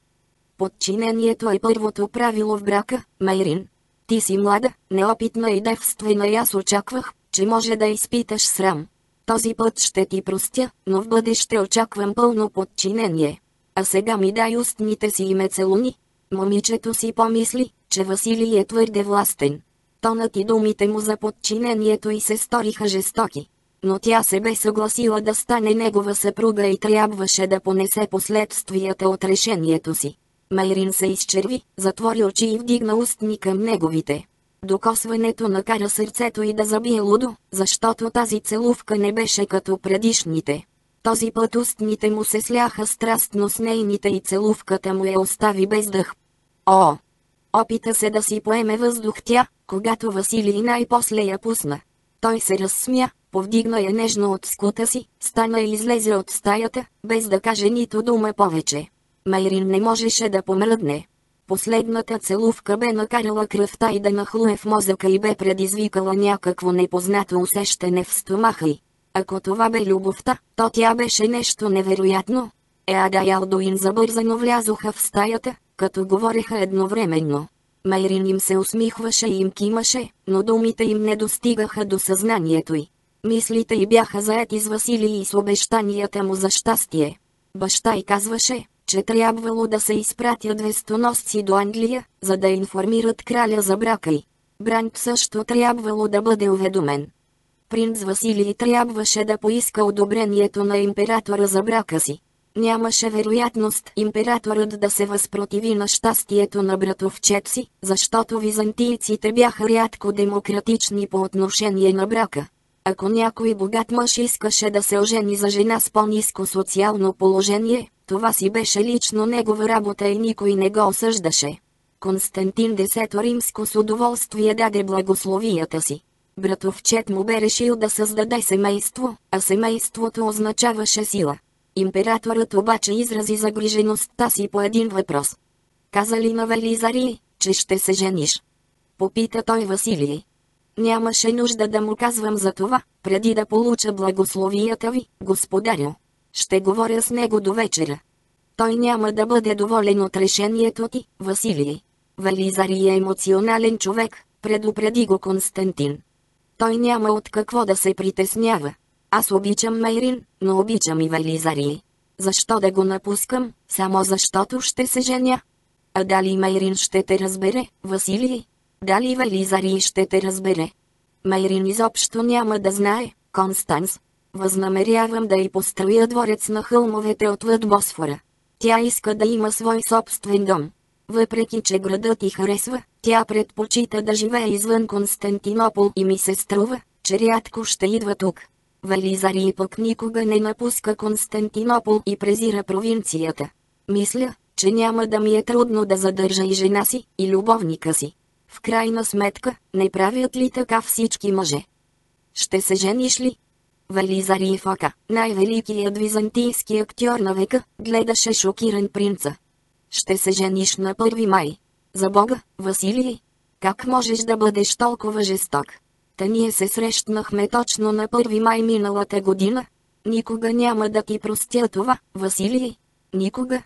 По издълженото му красиво лице се плъзна една сълза.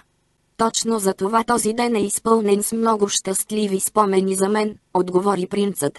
След това прегърна любовника си. Аз не бих те наранил съзнателно, Велизари, но датата на сватбата е вече определена и не може да бъде променена. Но защо трябва да се жениш? Златисто кафявите очи на актьора се насълзиха. Не ме ли обичаш? Разбира се, че те обичам, но ти не можеш да ми родиш деца, Велизари. Мой дълг към семейството ми е да имам наследници. Освен това Мейрин е нещо изключително. По красота тя ми е равна. Аз не можах да я устоя и вече я обичам. Чух, че косата е имала най-пагубният цвят, вметна остро актьорът. Оранжева. Как може някакво момиче с оранжева коса да се равнява с теб по красота, мой сладки принце? Косата е златисто червена и прилича на огън.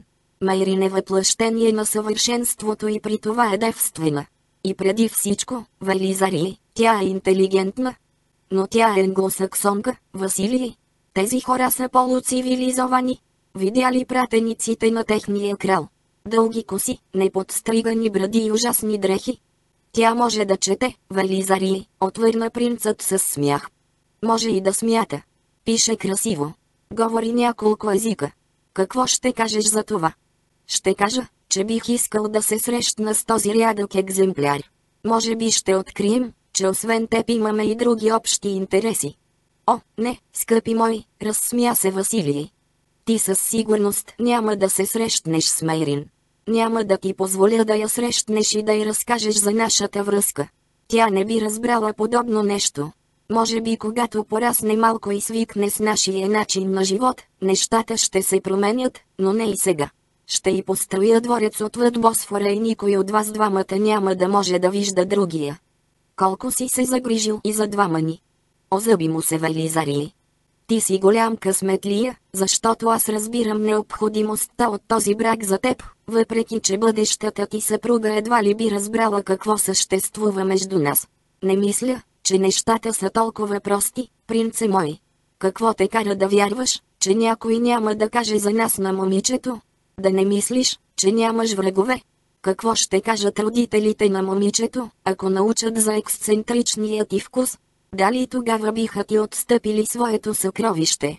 Дали наистина толкова много биха искали да имат за зет принц, че да забравят варварските си скруполи? Едва ли?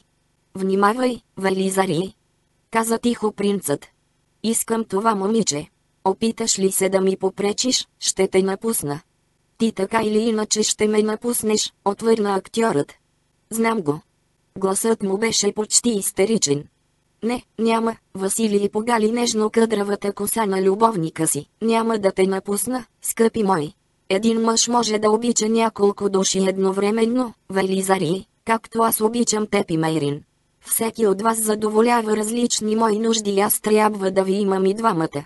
Ти винаги си знаел, че за разлика от теб, аз мога да обичам както мъже, така и жени и че някой ден ще трябва да ме делиш с съпруга. Не ми се цупи, любими. И той бързо целуна устните на актьора. Велизари отвърна на целувката и каза тъжно. Ти искаш да разбиеш сърцето ми, принце мой. Още когато те видях за първи път, знаех, че ще стане така, но не можех да не те обичам. Вярвай ми, каза Василий с усмивка. Всичко ще бъде наред. Знаеш, че ще го направя, нали? Почти съжалявам невестата ти, Василий, каза тихо актьорът. Чудя се дали тя осъзнава какъв безскрупулен мъж си. Влюбена за първи път в живота си, Мейрин виждаше само това, което искаше да види. Принцът я бе завладял с обяснението си в любов и с страстните си целувки. Целувките му и бяха доставили удоволствие и възбуда, каквито не беше познавала преди. Тя безрезервно вярваше на всичко, което той й бе казал, и с нетърпение очакваше деня, в който тялото й щеше да бъде готово да се слее с неговото и да познае мъжката любов. Майрин вече бе станала по-висока от Еада.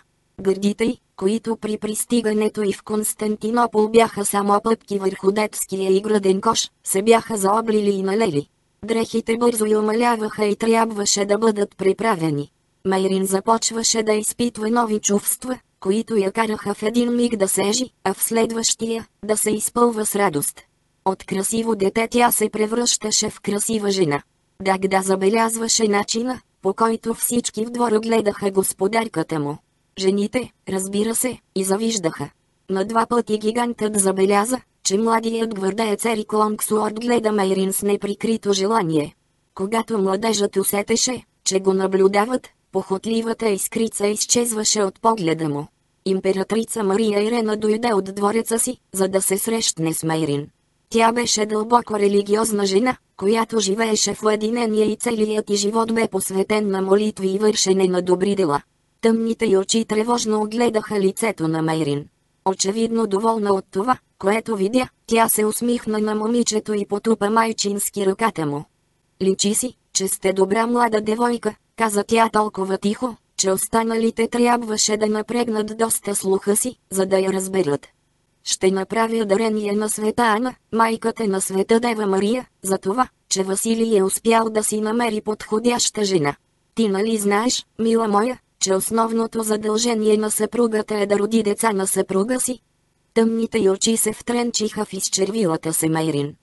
Дъщеря ми все още не е достатъчно голяма, за да зачене и роди деца, Ваше Величество, каза Ада. Така е, но това няма да трае дълго и тя скоро ще бъде готова.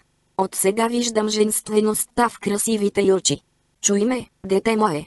Да бъдеш жена и покорно да се отдаваш на плътските желания на съпруга си е трудно, но твой дълг като съпруга е да го правиш. Майка ти, без съмнение, ти е разказала за безсрамния начин, по който биват зачевани децата. Това е наказанието, наложено ни от Бога заради греха на Ева и ние сме длъжни да търпим. Ти обаче можеш да направиш голяма услуга на душата си, като по време на този животински акт се концентрираш върху броеницата си. Императрицата тревожно се вторачи в Мейрин, обзета от страх, че може би е шокирала горкото момиче с откровеността си. Мейрин потисна желанието си да се разсмее. За англосаксонците сексът не беше табу и те му се отдаваха с удоволствие. Съпружеското щастие на Ада Ялдуин не беше тайна за никого. Брант и Мейрин неведнъж бяха изненадвали родителите си, вкопчени в похотлива прегръдка. Двете деца винаги можеха да питат родителите си по всички въпроси, отнасящи се до плътския живот, и Ада бе доверила на дъщеря си, че въпреки че тези удоволствия могат да изглеждат малко странни, това не ги прави по-малко приятни. Думите на императрицата изненадаха Мейрин, но тя знаеше, че трябва да се държи учтиво с възрастната дама, която и говореше така, само защото наистина се тревожеше за нея. Момичето инстинктивно усещаше, че Василий е много страстен мъж. Принцът и бе признал, че предпочита неопитните и целувки пред поведението на жените, които безропотно понасят прегръдките на своите съпрузи. Тя не можеше да си обясни, защо императрицата се беше обърнала към нея толкова официално. Благодаря ви, че отделихте от времето си, за да ме посетите и да ми дадете мъдрите си съвети, Ваше Величество, каза учтиво Мейрин. Няма да забравя думите ви. Еада засия от гордост. Маниерите на дъщеря й бяха безопречни, а тактичността й бе похвална. Въпреки че за Еада бе чест Мейрин да бъде посетена от императрицата, тя не можеше да си обясни защо Мария Ирена бе сметнала за необходимо да говори толкова мрачни неща на момичето. Мисълта, че някой може да се концентрира върху броеницата си в момент на върховна страст, беше неописуемо забавна. След императрицата и останалите членове на рода доказ дойдоха, за да поднесат почитанията си, и всеки от тях донесе по някакъв подарък за Мейрин. Някои от тях не бяха богати или не принадлежаха към благородния клон на семейството, но дори и те се гордееха с родството си с императора и с това, че сватбата на Василий с красивата чужденка отново ги извеждаше в центъра на вниманието. Бащата на принца бе починал, но майка му дойде да види Мейрин веднага след като императрицата си замина. Илиана Доказ беше дребна, елегантна жена с надменен вид. Светът на кожата й беше като този на сина й, но за разлика от него тя имаше права коса, прибрана на кок в основата на тила й. Очите на Василий бяха топли, а очите на майка му бяха безизразни и студени, и се оживяваха само когато говореше за единственото си дете. Майката на принца беше облечена в великолепна дреха от алена коприна с златна бродерия. Дори императрицата не бе изглеждала толкова величествена. Нейният подарък за Мейрин бе една прекрасна огърлица от украсени с филигран златни плочки с инкрустирани в тях аметисти. За да вървят в тон с очите ти, каза тя навъсено. Синът ми ми каза, че очите ти имали цвета на аметист, но на мен ми се струва, че са по-скоро виолетови. Ти си много млада, но аз би трябвало да ти благодаря, че ще откъснеш сина ми от хедонистичния живот, който той водеше през всичките тези години. Аз не одобрявам приятелите му. Вярвам, че ще му бъдеш добра жена и няма да се държиш като някаква малка глупачка, която боготвори праха под краката му и му позволява да продължава с разпуснатия си живот. Дари ме с внуци колкото се може по-скоро. За мое нещастие, единствен Василий оцеля от всичките ми деца. Децата успяват да задържат мъжа край семейното огнище по-добре от жената. Тя се вгледа в Мейрин. Нали си достатъчно голяма, за да имаш деца? Не съвсем, намеси се Ада. Защо той ще иска да се ожени за нея, ако не за да се здобие с синове? Раздразнено попита Илияна Дукас. Синът ми трябва да има деца. Ние се обичаме, каза Мейрин, и скоро ще консумираме нашия съюз. Любов ли? Възрастната дама се разсмя грубо, но после въздъхна. Любовта, мила моя, е само една иллюзия, въпреки че сега ти едва ли ще ми повярваш. С времето ще научиш, че единствените реални неща на този свят са онези, които можеш да хванеш с ръцете си. Познавам сина си. Той те обича заради красивото ти лице и неопитността ти. Животът в Константинопол бързо ще те лиши от второто, затова пази първото също толкова ревностно, колкото го правеше и императрица Зоя, ако не искаш някой ден да загубиш Василий завинаги. Майрин изглеждаше доста разстроена и чертите на Илиана се смекчиха. Виж, детето ми, с годините аз наистина станах доста язвителна, но не съм толкова лоша, колкото ти се струвам. Просто се опитвам да ти спестя болката, която аз съм изпитала. Тя се усмихна студено. Ще се опитам да бъда добра свекърва, Майрин, и да не се меся в живота ти, но ако имаш нужда от помощта ми, не се колебай да ме потърсиш. Аз искам само най-доброто за Василий и знам, че и ти искаш същото. Ние трябва да бъдем приятелки и съюзници. Няма нужда историята да се повтаря, завърши тя и си тръгна. Когато Еада и Майрин останаха сами, момичето възкликна. Колко странна жена е майката на Василий. Първоначално се оплаших от нея, но след това осъзнах, че я съжалявам, въпреки че не знаех защо. Еада поклати глава. Може би съпругът и не е бил толкова добър с нея, колкото е Василий с теб. За жената съпругът и семейството са всичко. Жената тъгува, когато любимият и мъж се отнася зле с нея, но най-много я боли, когато загуби децата си. Надявам се никога да не изпитваш такава болка, Майрин. Момичето хвана ръката на майка си и я притисна към сърцето си. Откакто Алдоин и жена му я бяха осиновили, Еада бе изгубила две деца. Едното бе момченце, което бе живяло само един ден. Второто бе изгубено по време на бременността и се бе оказало невъзможно да се определи дали е момче или момиче.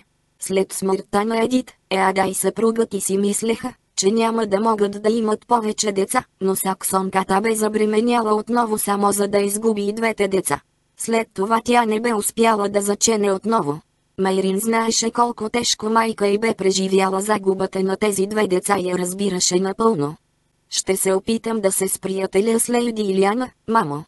Така ще бъде най-добре, Майрин. Когато с баща ти се върнем в Англия, семейството на Василий ще бъде твоето семейство. За да бъдеш щастлива, ти трябва да си създадеш приятели между членовете на клана Доказ. Денят на сватбата наближаваше. Императорските шивачки работеха неуморно върху булчинските дрехи на Мейрин. Роклята бе изработена от златист плат и прилепваше плътно по тялото на момичето. Върху нея тя щеше да носи туника от златна коприна, обшита с аметисти, диаманти и перли. Косата на Мейрин щеше да бъде разпусната, за да показва, че е девствена, но на главата й щеше да бъде поставена изящна златна корона, украсена с диаманти и перли. Шивачките, които работеха по булчинската премяна, бяха много развълнувани и по време на последната проба зяпаха изумени бъдещата принцеса, която бе облякла сътворените от тях дрехи. Никога не съм виждала нещо по-красиво. Каза с въздишка Ада на дъщеря си. Майрин не й отговори. Тя се бе вторачила замечтано в отражението си в огледалото и си мислеше за деня, в който щеше да принадлежи на Василий. Строежът на бъдещия и дом вече бе започнал. Дворецът представляваше величествена сграда с куполен покрив и колонади. Беше разположен по средата на зелените хълмове отвъд Босфора.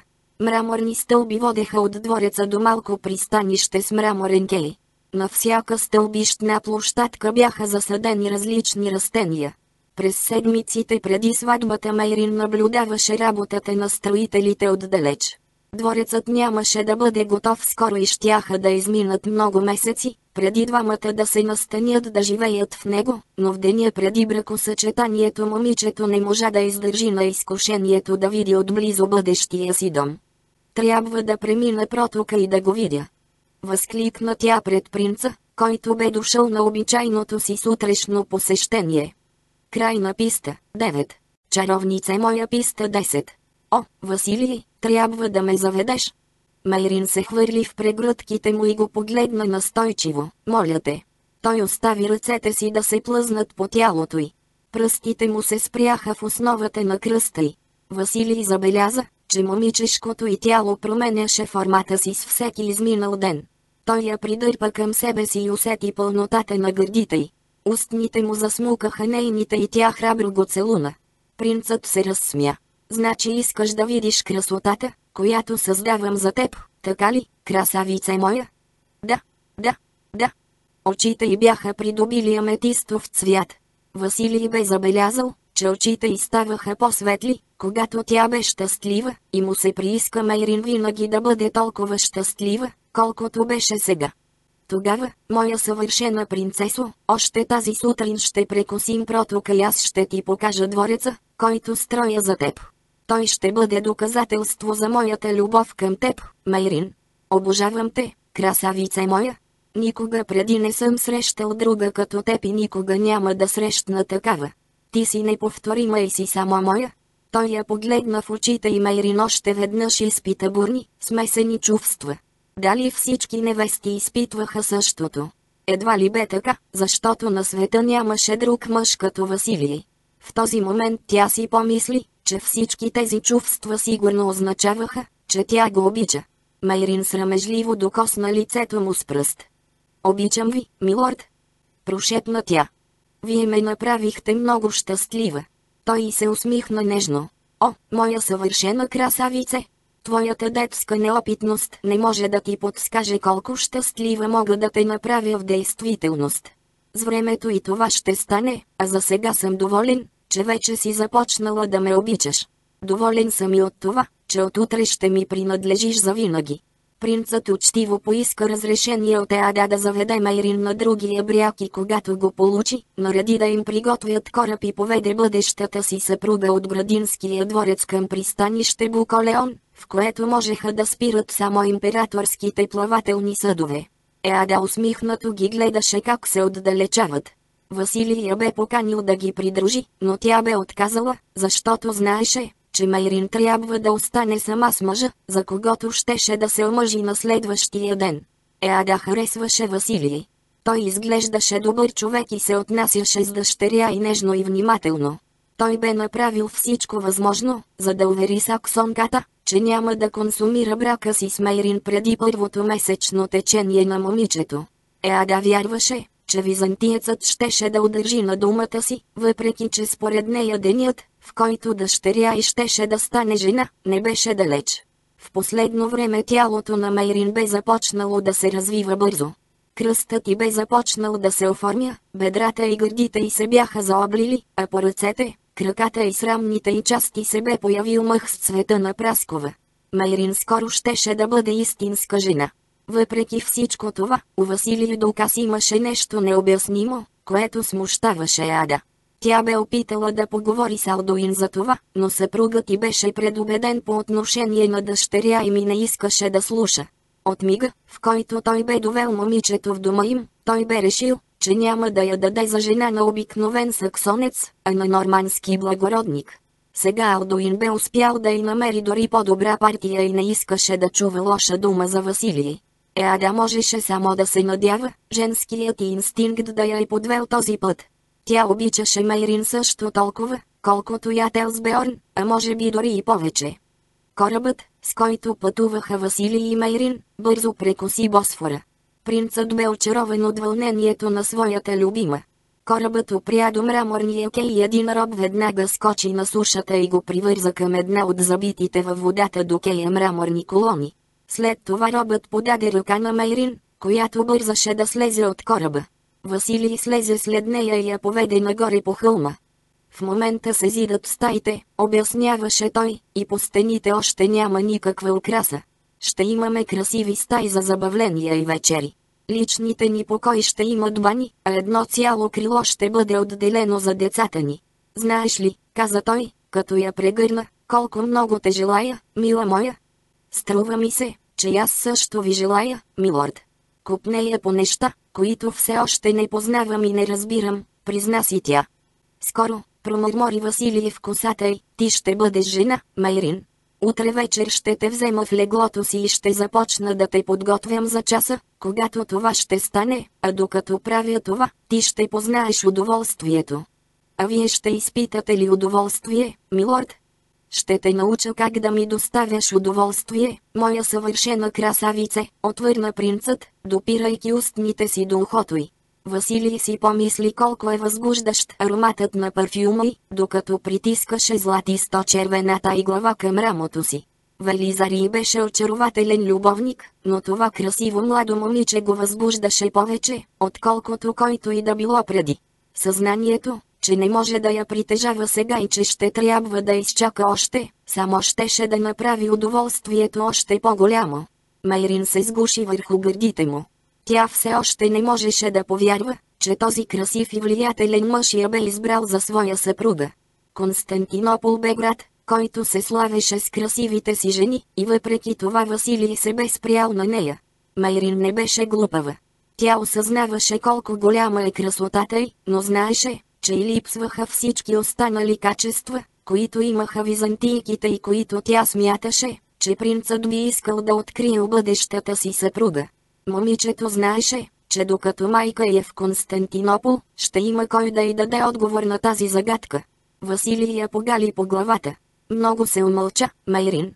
За какво мислиш? Тя вдигна глава, за да го погледне в очите, и каза. Мислех си колко много бих искала да ви направя щастлив, милорд. Лицето му се сгърчи за миг.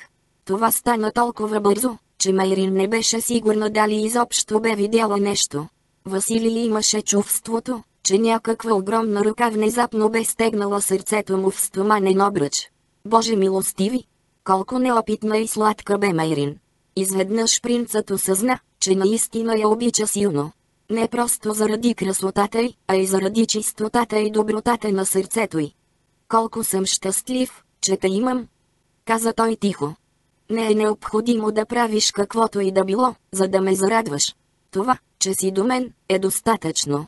Знам, че утре ще бъдеш моя жена и това ме прави най-щастливият човек на света. О, Майрин! Двамата с теб ще изживеем най-прекрасния живот. Обещавам ти. Глава 6. Мамо, аз кървя. Майрин погледна към малените петна върху бедрата си. Изведнъж разбра какво става и отново извика. Мамо, аз съм жена. Е, а да знаеше, че това все някога трябваше да се случи, но се питаше, защо трябваше да стане точно в нощта преди сватбата на Мейрин. Бракът не можеше да бъде консумиран преди първото течение на дъщеря и да премине, но саксонката се беше надявала момичето да има малко повече време. Тя прикри чувствата си и започна да обяснява на Мейрин как да се справя с течението. Дъщеря й беше пребледняла и кожата й бе студена и влажна. Майрин се оплакваше от болки в стомаха и гърба. Майка я сложи да си легне и даде да изпие някакво топло питие, в което беше сложено лекарство. След това Яда седна на леглото и изчака дъщеря и да заспи. После се затича да уведоми принца за събитието. За нейна най-голяма изненада Василий се отнесе с разбиране към цялата история. Няма причина, каза и той, да променяме плановете си. Знам, че и по-млади момичета са се омъжвали и са раждали деца, но Мейрин е по-неопитна от повечето жени на нейната възраст и е по-различна от византийките. За някои мъже това не би имало значение, но аз не съм от тях. Искам бавно да запозная Мейрин с удоволствията, които могат да си доставят мъжът и жената, и нямам твърде голямо желание да я лиша от девствеността и веднага. Искам тя изцяло да се наслади на своето пробуждане, преди да консумираме съюза си. А вие можете ли да консумирате този съюз? Думите излязоха от устата й, преди Ада да се усети. Осъзнала грешката си, тя притисна длан върху устните си и се изчерви. Развеселен от реакцията й, принцът се разсмя. Да, леди, аз съвсем сигурно мога да консумирам брака си с дъщеря ви. Моля за извинение, милорд, но аз чух някои слухове. Като майка съм загрижена за благополучието на детето си. Някой ден ние с съпруга ми ще се завърнем в Англия и ще оставим Мейрин в тази непозната за нея страна и може би никога вече няма да я видим отново. Аз просто искам тя да бъде щастлива, милорд. Аз няма да я разочаровам, леди. Ще й дам всичко, от което се нуждае, за да бъде щастлива, отвърна тихо той. Обичам Мейрин и каквото и да сте чули за мен, то няма нищо общо с любовта ми към дъщеря ви. Е, да знаеше, че трябва да приеме този отговор. Милорд, аз наруших добрия тон, като ви заговорих по този начин. Кълна се, че не исках да се правя на тъща, която се меси в живота ви. Не е грях, че искате дъщеря ви да бъде щастлива, леди, прекъсна я принцът. Това, което си казахме днес, ще си остане между нас и ако вие забравите за този разговор, аз също ще го забравя. Милордът е много любезен, отвърна Ада. Тя почувства облегчение, като разбра, че Алдуин няма да бъде уведомен за инцидента. Саксонката направи реверанс и излезе от стаята. Следващият ден бе слънчев и топъл. Според старинния обичай, Майрин стана рано, за да събере цветя от градината, преди по тях да се е образувала руса. Тя все още се чувстваше малко отпаднала и това и напомняше, че е вече истинска жена. На сватбата й обаче нямаше да присъстват много хора и ако булката беше малко неразположена, едва ли някой щеше да забележи. Всъщност тя подозираше, че гостите ще възхваляват очевидната и скромност. Тъй като Василий не беше член на императорското семейство по пряка линия и бе получил титлата си по майчина линия, сватбата му не беше династична и следователно нямаше да се състои в голямата базилика Света София, а в разположената срещу нея по-малка църква Света Ирена.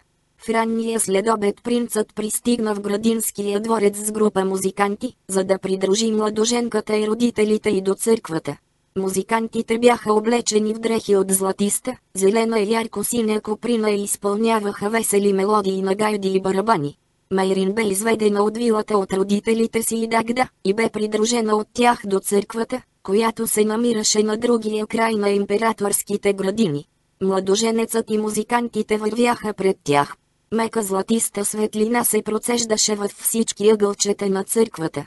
Слънчевите лъчи, които проникваха през красивите прозорци, се отразяваха от жълтите стени, от красивите булчински дрехи в бяло и златно, с които беше облечена Мейрин. Въпреки че преди няколко години Византийската църква се беше отцепила от римската, Мейрин не забеляза голяма разлика между двете.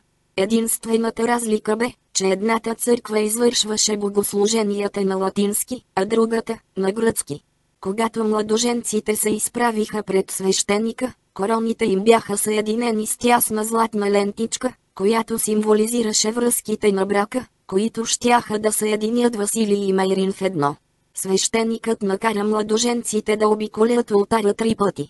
На сватбата бяха поканени Алдуин, Еада, Дагда, прислужницата Нара, принцеса Илиана, император Константин, императрица Мария Ирена, Тимон Теократ и жена му Евдокия.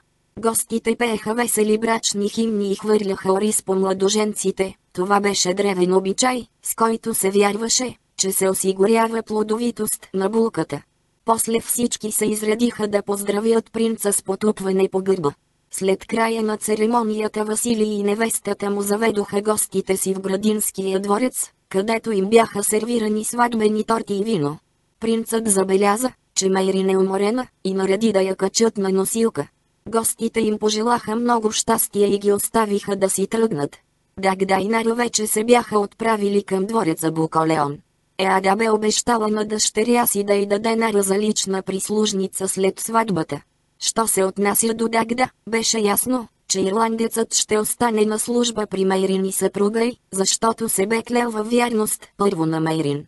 В носилката Мейрин се отпусна назад и миг след това клепачите й се затвориха. Василий, който вървеше отстрани, се усмихна. Беше толкова красива. Взе ръката и в своята и Мейрин отвори очи. Каква булка съм аз, щом като заспивам в деня на сватбата си? Укори се тя. Уморена, отвърна принцът с смях. Всичко беше толкова вълнуващо, красавице моя. Тя усети, че Василий наблегна на всичко и разбра, че майка й му е казала, че дъщеря е вече истинска жена. Майрин изпита огромно облегчение, защото не беше сигурна как трябва да повдигне подобен въпрос пред някой мъж, дори ако този мъж беше съпруга ти. Отпусни се и си почини, каза той нежно. Ще поговорим пак, когато стигнем у дома. Дворецът Буколеон се намираше до императорското пристанище. Кеят му беше украсен с статуи на лъвове, дракони, грифони и други истински и митологични същества. Дворецът бе построен от красиви мраморни блокове, свързани в мозайка от ярки цветове. Около него бяха разположени павилиони, изкуствени, езерца, фонтани и градини. Излъчваното от сградата спокойствие бе измамно, защото в Буколеон живееха и работеха 20 000 придворни, войници, свещеници, слуги, служители и артисти. В работилниците на Буколеон се изработваха висококачествени копринени тъкани, над чието производство държавата имаше монопол, бои за платове и оръжия с отлично качество. Майрин и съпругът и щяха да живеят в този дворец, докато не бъдеше завършен новият им дом. Покоите на принц Василий Дукас бяха с изглед към градините и морето. Малкото крило на двореца, в което щяха да живеят младоженците, имаше свой вътрешен двор и отделен вход. Принцът помогна на жена си да слезе от носилката и я пренесе на ръце през прага. Майрин се изчерви и скри лицето си за драмото му. Сърцето й биеше лудо от вълнение и до някъде от страх, но за нейна изненада Василий я сложи върху леглото в спалнята с думите. А сега си почини, Майрин. Ще се видим за вечеря, след това излезе от стаята. Тя беше твърде уморена, за да спори с него. Болките в стомаха й бяха започнали да я мъчат отново. Започна да й се гади. Ако това значи да бъдеш жена, измърмори Майрин, не съм сигурна дали искам да бъда такава. Тя се обърна на една страна, но така и беше неудобно и отново легна по гръб. Нара! Извика тя. Прислужничката се появи веднага. Какво желаете, принцесо? Иди при майка ми и кажи, че искам да ми даде малко от еликсира, който ми даде вчера за болките в стомаха. Кажи и също, че искам да науча рецептата, за да мога да си го приготвям сама в бъдеще. Да, миледи, отивам веднага, но мога ли да ви предложа междувременно да опитате от червеното кипърско вино? Налей ми малко, нареди Майрин. Нара, ти имаш ли болки, когато връзката ти с луната е нарушена? Прислужничката се усмихна. Когато бях момиче, ме болеше, но вече не. Не разбирам, каза Майрино задачено. Ами. Започна наръс намигване, когато едно момиче опита веднъж, болките изчезват. Да опита какво? Изведнъж Нара осъзна, че въпреки че Майрин бе научила от майка си основното за секса, тя всъщност не знаеше много и нямаше практически опит, както трябваше и да бъде при една порядъчна млада дама. Веселата прислужничка обаче вече беше казала и нямаше как, трябваше да кажи Иба. Налагаше и се да каже истината. Ами, принцесо, исках да кажа, че когато започнете да се снушавате редовно с съпруга си, болките ви трябва да изчезнат. Поне така стана с мен. Но ти не си омъжена. Реагира Мейрин. После проумя думите на прислужничката и се изчерви като домат. О! Тичам при майка ви, принцесо, каза бързо Нара и излетя през вратата на спалнята. Разбира се, Нара си имаше любовник. Майрин не можеше да си прости, че се бе държала толкова глупаво. Това откритие би трябвало да я шокира, но не бе станало така. Момчетата и момичетата в английските села често се снушаваха, преди брачните им клетви да бъдат обявени пред ултара. Майрин откри, че не се отвръщава от морала на прислужницата си. Тя се запита дали майка й знаеше за похожденията на Наро и реши, че Ада сигурно не знае. Момичето си помисли, че няма да бъде зле да има прислужница с такъв голям опит, докато и самата тя не научеше всичко за тези неща. Изведнъж Майрин се сети, че е първи май. Тя знаеше това още от сутринта, но от вълнение по край сватбата беше забравила. трябваше да запали огъня си за Белтейн. Особено в този най-важен в живота си ден. Тя огледа стаята внимателно. Всичко й беше напълно непознато, защото никога преди не беше влизала в покоите на Василий. Майрин нямаше представа къде Нара беше оставила твърбичката с дъбовите и тресчици. На вратата се почука. Влезе Дагда, който носеше плитка медна купа. Знам, че сте уморена, миледи, но знаех, че няма да забравите за Белтейн.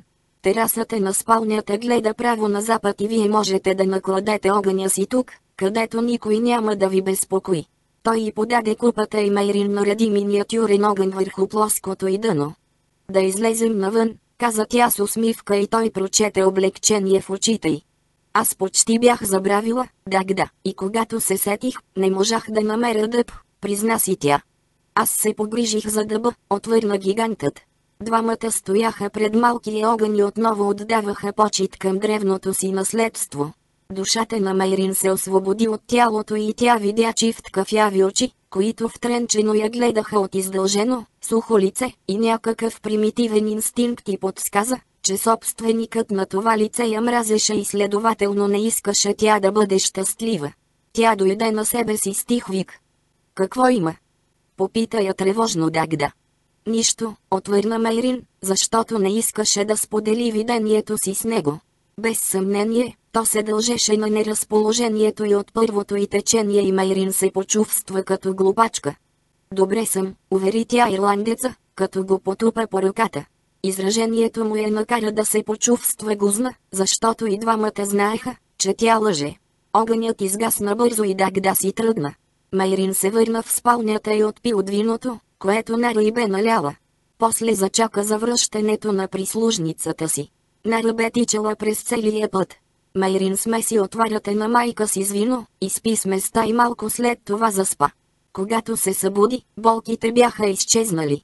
За нейно щастие, дрехите й бяха толкова гъсто обшити с скъпоценни камъни, че дори не се бяха измачкали. Тя изми лицето си с розова вода и се присъедини към съпруга си за сватбената им вечеря. Храната беше богата и разнообразна.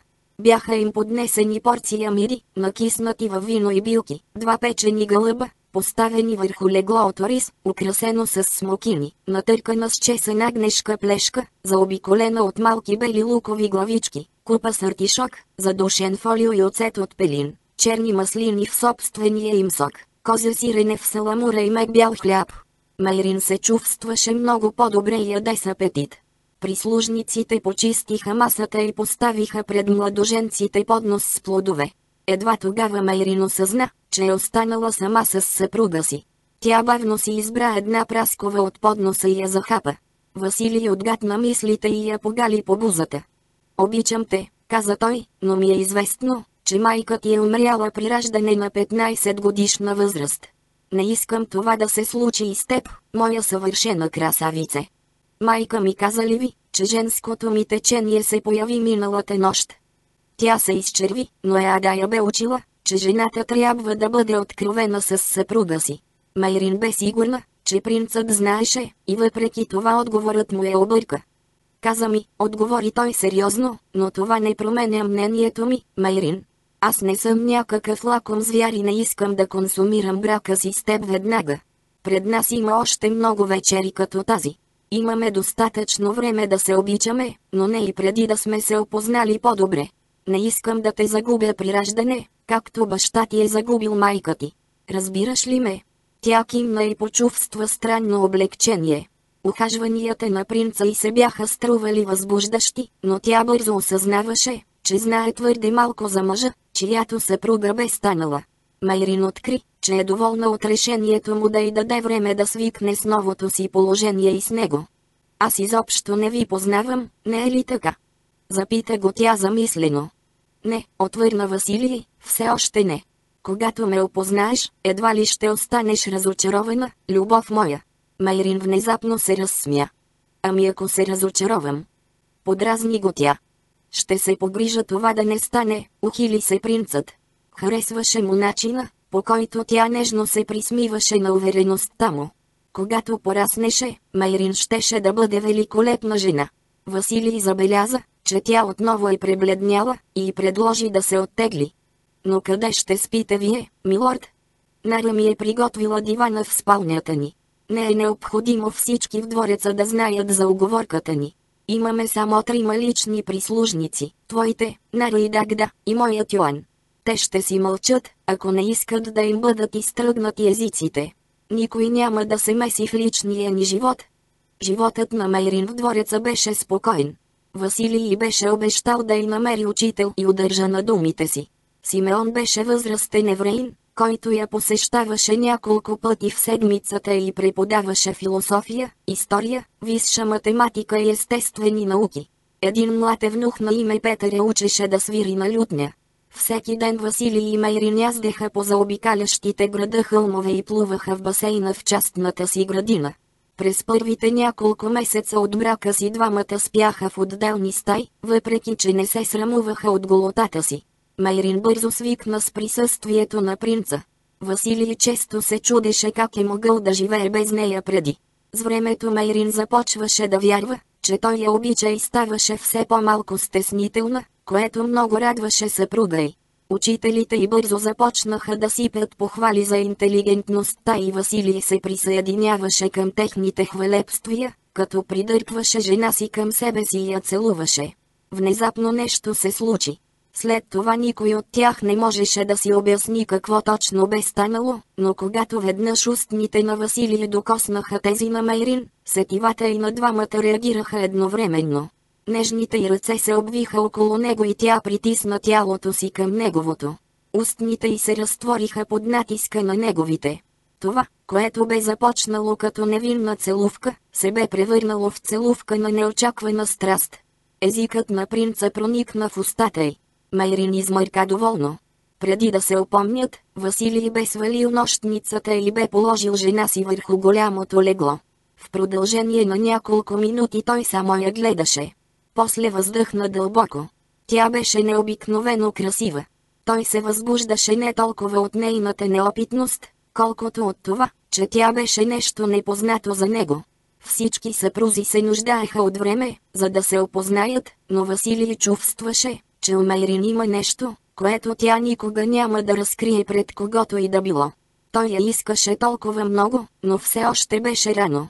Още от самото начало принцът бе решил първо да запознае жена си с другите пътища към удоволствието и сега му се отдаваше добра възможност да започне обучението й.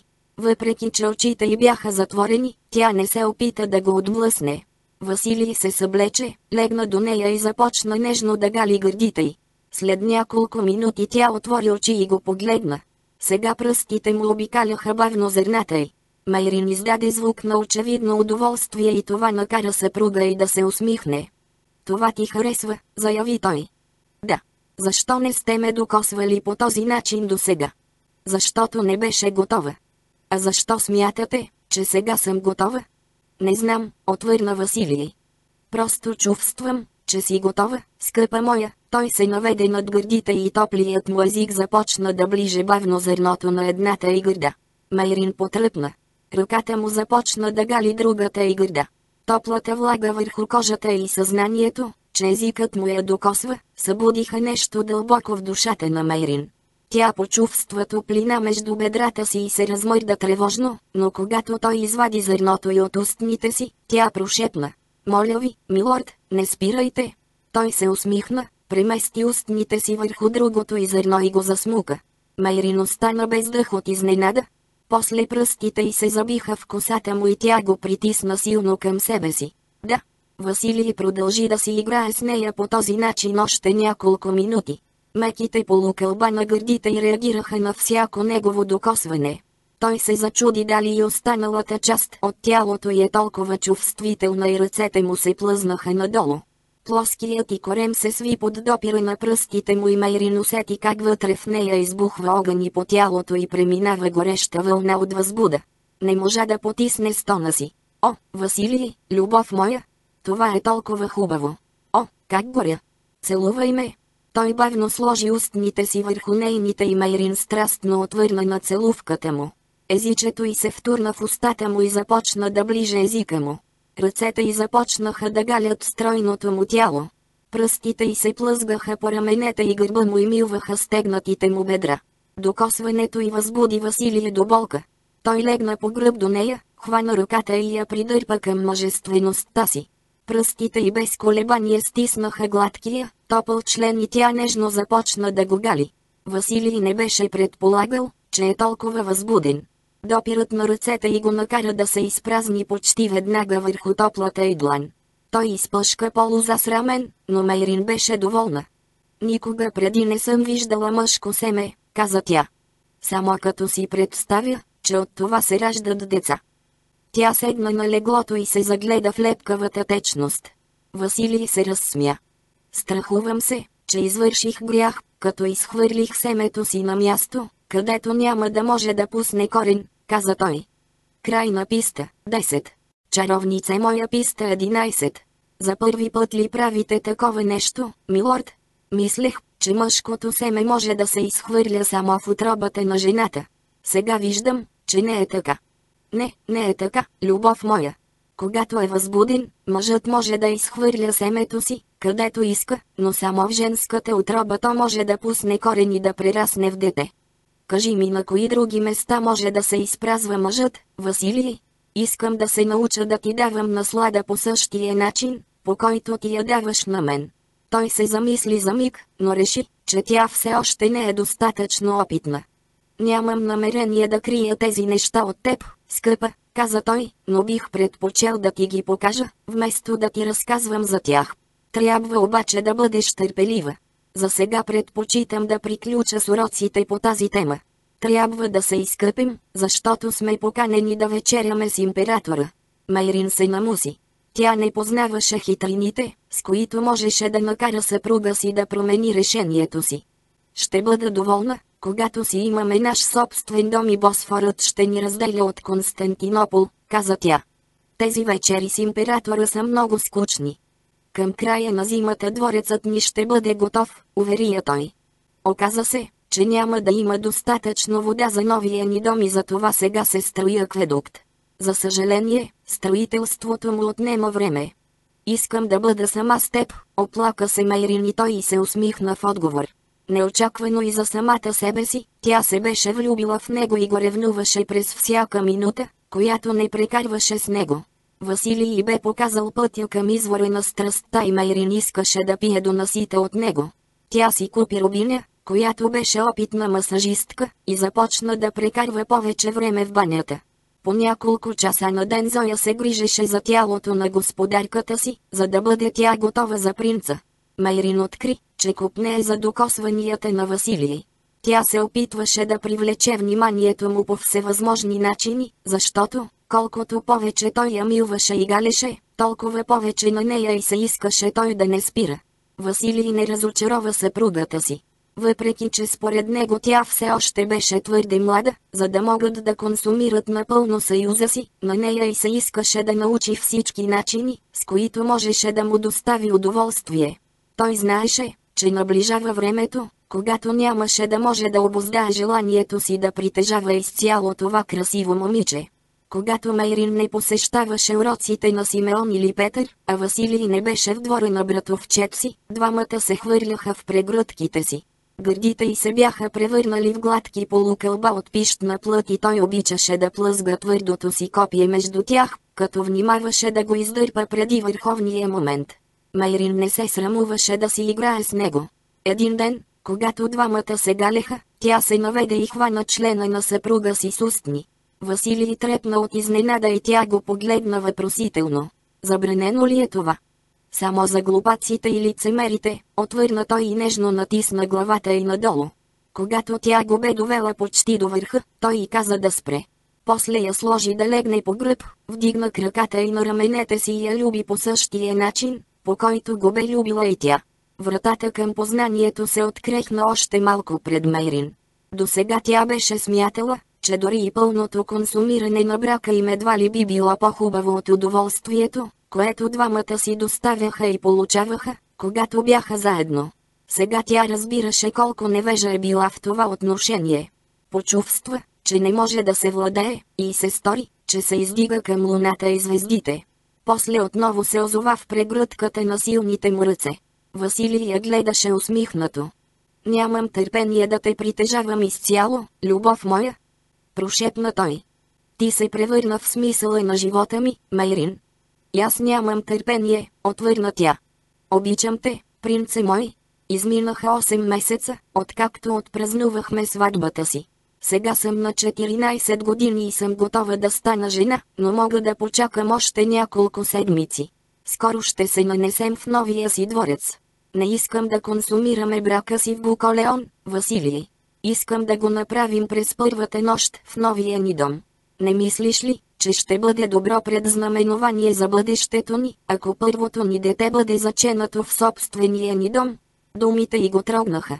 Колкото и силно да беше желанието му да я има, идеята и да консумират брака си в собствения им дворец го радваше. Принцът погали Майрин по бузата. Тюркоазните му очи бяха изпълнени с обичи възхищение. Тя действително беше идеалната съпруга за него.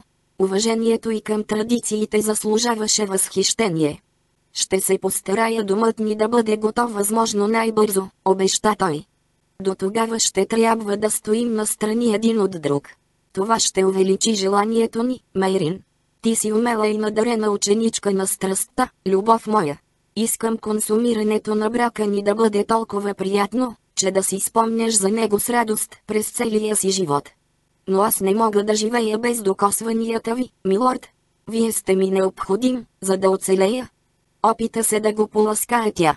До вечера ще задоволя всичките ти похотливи купнежи, любов моя, но съмне ли се, ще се преместя в друга стая и ще остана там, докато настъпи времето да се нанесем в новия си дом. Искам да бъдеш толкова гладна за мен, колкото съм аз за теб в този момент. Василия прегърна и я целуна. Толкова си сладка. Измърмори той върху устните й. Мисля, че трябва да съм полудял, щом искам да се отделя от теб. Може би, подразни го тя, ще бъде по-добре да започнем с въздържанието си още сега, милорд. О, не, чаровнице моя, няма да ми избягаш тази вечер. Разсмя се той. След това я вдигна на ръце и я понесе към леглото. Двамата страстно се милваха с ръце и устни. Василий засмука гърдите и Мейрин въздъхна доволно, когато познатите тръпки на възбуда преминаха по тялото й. Ръцете на съпруга й започнаха да галят вътрешната страна на полуразтворените й бедра. Тя потръпна, когато пръстите му за първи път се плъзнаха между нежните гънки от розова плът. Принцът усети как тя се стяга и побърза да я успокои. Не се страхувай, Майрин. Само ще проуча сладостта ти за малко. Един нежен пръст я потърка и внимателно влезе в треперещото й тяло. Ах, любов моя, колко ми се иска да те пронижа с копието си, а не с пръста си. Прошепна той. Пръстът му се движеше ритмично в нея и Майрин усети как страхът ти отстъпва пред някаква непозната за нея възбуда. Тялото й не искаше да стои неподвижно и тя започна да тласка бедрата си нагоре, за да посрещне движенията на ръката му. О, Василий! Толкова е хубаво! Извика тя, когато цялото й същество бе завладяно от чувството, че се разтапя. Той наведе глава и я целуна страстно. Доволен беше, че първото сериозно проникване не я беше изплашило. Василий бе научил всичко, което му беше необходимо. Девствената ципа на жена му беше здрава и той щеше да се нуждае от цялото си умение и търпение, за да я разкъса. Той се надигна и каза, ти си съвършена, любов моя. Обожавам те. Майрин се почувства на седмото небе от щастие. Тя обичаше и беше обичана, желаеше и беше желана. През следващите няколко дни Майрин изглеждаше изключително щастлива. Еада забеляза това и не можа да се сдържи да не я попита. Щастлива ли си, дете мое? О, да, мамо. Саксонката замълча за малко. Да не би вече. Тя се спря, но Мейрин прочете мислите й. Все още не, но аз съм готова и Василий е съгласен, мамо. Ние обаче решихме да изчакаме, докато се нанесем в новия си дом отвъд пролива. Искам синът ми да бъде заченат под покрива на собствения ми дом. Още не съм говорила с теб за това, което трябва да очакваш, детето ми, каза Ада. Щом моментът е наближил, ти трябва да бъдеш подготвена. Не мисля, че вече има нещо, което да не съм научила, мамо. Вярно е, че още не сме консумирали съюза си, но Василий и аз играхме най-различни игрички в леглото през изминалите няколко месеца. Всичко беше чудесно, каза Мейрин с лека нотка на самодоволство. А той предупреди ли те за болката? Попита Ада. За болката ли? Мейрин изглеждаше объркана. Каква болка? Никой не е споменавал за болка. Саксонката се усмихна. Тя си помисли колко типично беше за мъжете да обръщат внимание само на удоволствието при първото сношение. Когато за пръв път станеш жена, Мейрин, можеш да изпиташ болка, каза тя. В това няма нищо страшно и то е съвсем естествено. Освен това, когато девственият щит бъде пронизан, ще има леко кръвотечение. Това става само първия път. После няма да има нито болка, нито кървене, а само удоволствие. Вие статко изпитвате ли удоволствие все още? Запита смело Мейрин. После се засрами и заби поглед в земята. Еада се разсмя. Да. Отвърна тя и в силните й очи проблесна весело пламъче. След всички тези години ние с баща ти все още изпитваме удоволствие от сношението. Ние се обичаме, Майрин. Без любов и радостта не може да продължава дълго. Надявам се с Василий да се обичате така, както се обичаме ние с баща ти. Не се съмнявай в това, мамо. Каза Майрин с увереността на всяка млада съпруга, която не може да вижда далеч в бъдещето. Той казва, че дори и в съня си мисли за мен. Аз съм толкова щастлива, че той ме обича. Ти я обичаш. Гласът на Велизари звучеше неестествено пискливо в ушите на принца, докато той крачеше напред-назад из личните си покой в двореца Буколеон.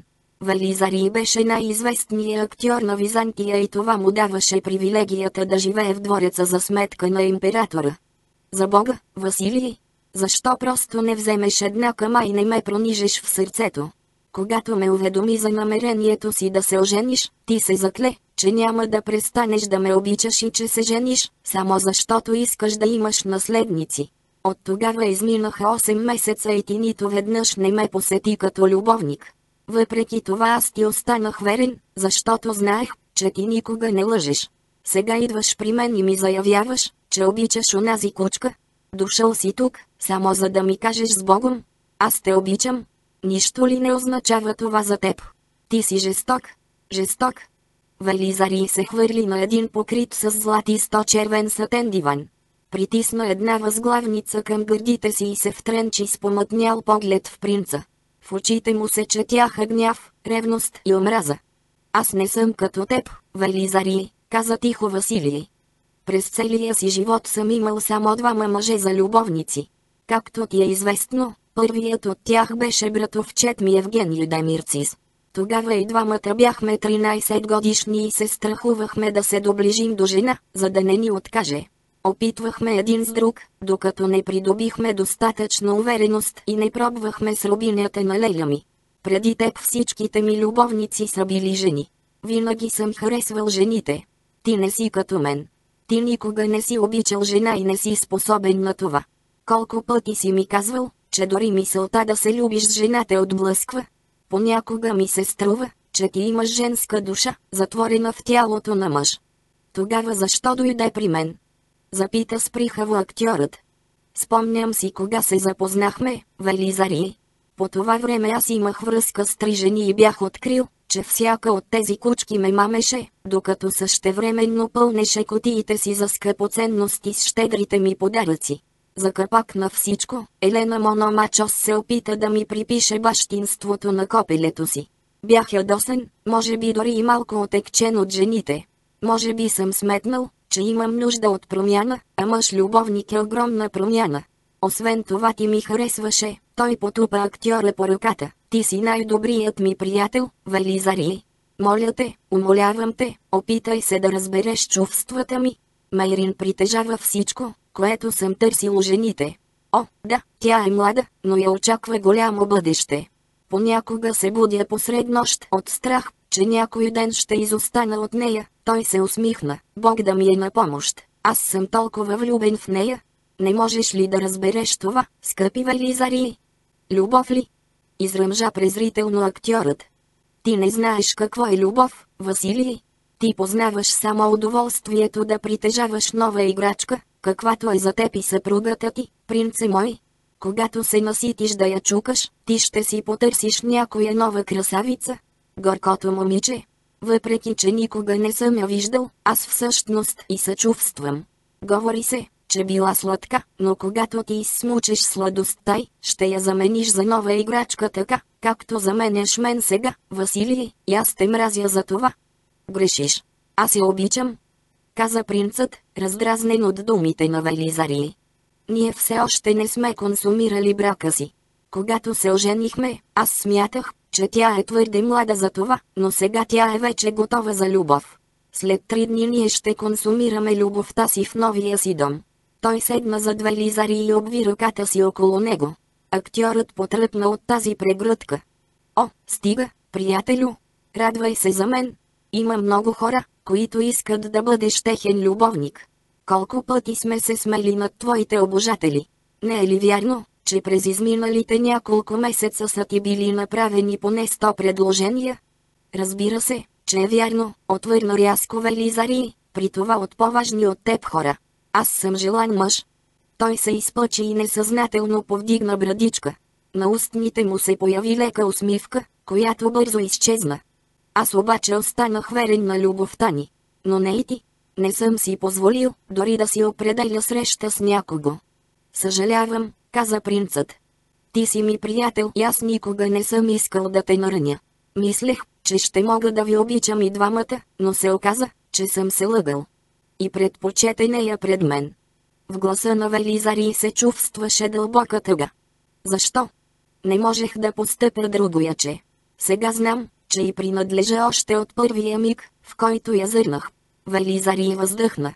Въздишката му бе изпълнена с такава болка, че Василий усети сълзи да напират в очите му.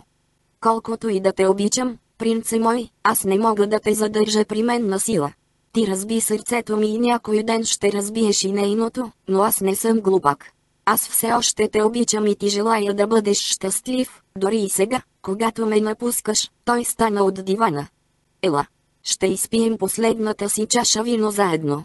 След това ти ще си тръгнеш, за да се върнеш при неопитната си жена. Актьорът бавно прекоси стаята. В един от ъглите имаше кръгла маса от мрамор и злато, върху която беше сложен сребърен поднос с наредени върху него чаши и кани. Тя не знае за нас, нали? Попита той замислено. Не, отвърна Василий. Майрин не знае нищо. Любов като тази между мъжете не влиза в обсега на познанията й. Такава любов би я шокирала. Тя не е израсла в Константинопол и за нея тези неща не са така естествени, както са за нас. Велизари бе стигнал до масата и кимна, сякаш искаше да изрази съгласието си с думите на принца. Върху палеца на лявата му ръка имаше пръстен с голям рубин. Актьорът застана така, че тялото му закриваше подноса от погледа на Василий и натисна някаква тайна пружина върху тъмно-червения камък. Пръстенът се отвори и откри малка кухина, пълна с някакъв бял прах. Велизари сръчно изсипа равни части от праха във всяка от двете, обковани с сребро чаши и бързо наля в тях кърваво червено гръцко вино. Прахът се разтвори моментално в червената течност. Велизари се обърна и усмихнато понесе двете чаши към дивана. За какво ще пием? Попита той, като подаде едната чаша на принца. Това ще бъде последната ни на здравица и трябва да бъде по-специална. Да пием за това и двамата да намерим истинското щастие, отвърна Василий, защото ми става мъчно, като си помисля, че съм те наранил, скъпи Велизарии. Иска ми се да бъдеш толкова щастлив, колкото съм аз сега. Велизарий се усмихна широко. Аз вече съм щастлив, принце мой, каза той, вдигна чашата към устните си и я изпи до дъно. Василий последва примера му. Чашите бяха поставени върху масата и актьорът се обърна към принца с изненадваща злъч в гласа. Твоята безценна принцеса скоро ще научи колко лесно предаваш хората, които те обичат, принце мой. Много скоро тя ще познае ужасната болка, която ти ми причини, и ще трябва да живее с тази болка до края на живота си, за който аз се моля да бъде дълъг, когато ни намерят заедно, Василий, някои хора ще пожелаят да разкрият връзката ни пред женати. Най-голямото отмъщение за мен е, че тя никога няма да бъде сигурна дали наистина си я обичал. Защото, принце мой, ти няма да живееш достатъчно дълго, за да я успокоиш или да отречеш клеветите. Той се изсмя остро. После внезапно залитна и падна на колене. Василий почувства силна, остра болка да пронизва вътрешностите му. Велизари! Извика той. Какво си направил? След това и той падна на колене и се озова лице в лице с актьора. Какво съм направил ли? Велизари бързо пребледняваше. Просто се постарах ти да останеш завинаги с мен, скъпи. Тя не може да те има, защото ти си мой, Василий. Мой и сега, и във веки веков. Мой. С тези думи той се просна напред, в ръцете на принца, и издъхна. Тежестта на тялото му повели Василий по гръб върху великолепния дебел килим от червена и черна вълна. Василий не чувстваше тялото си. Той не можеше да се движи и лежеше по гръб, притиснат от безпомощната прегръдка на Велизарий. Думите на убиеца проникнаха в съзнанието на принца и той усети как сърцето му бавно спира да бие. В последен прилив на енергия той успя да извика само една дума – Майрин. И издъхна.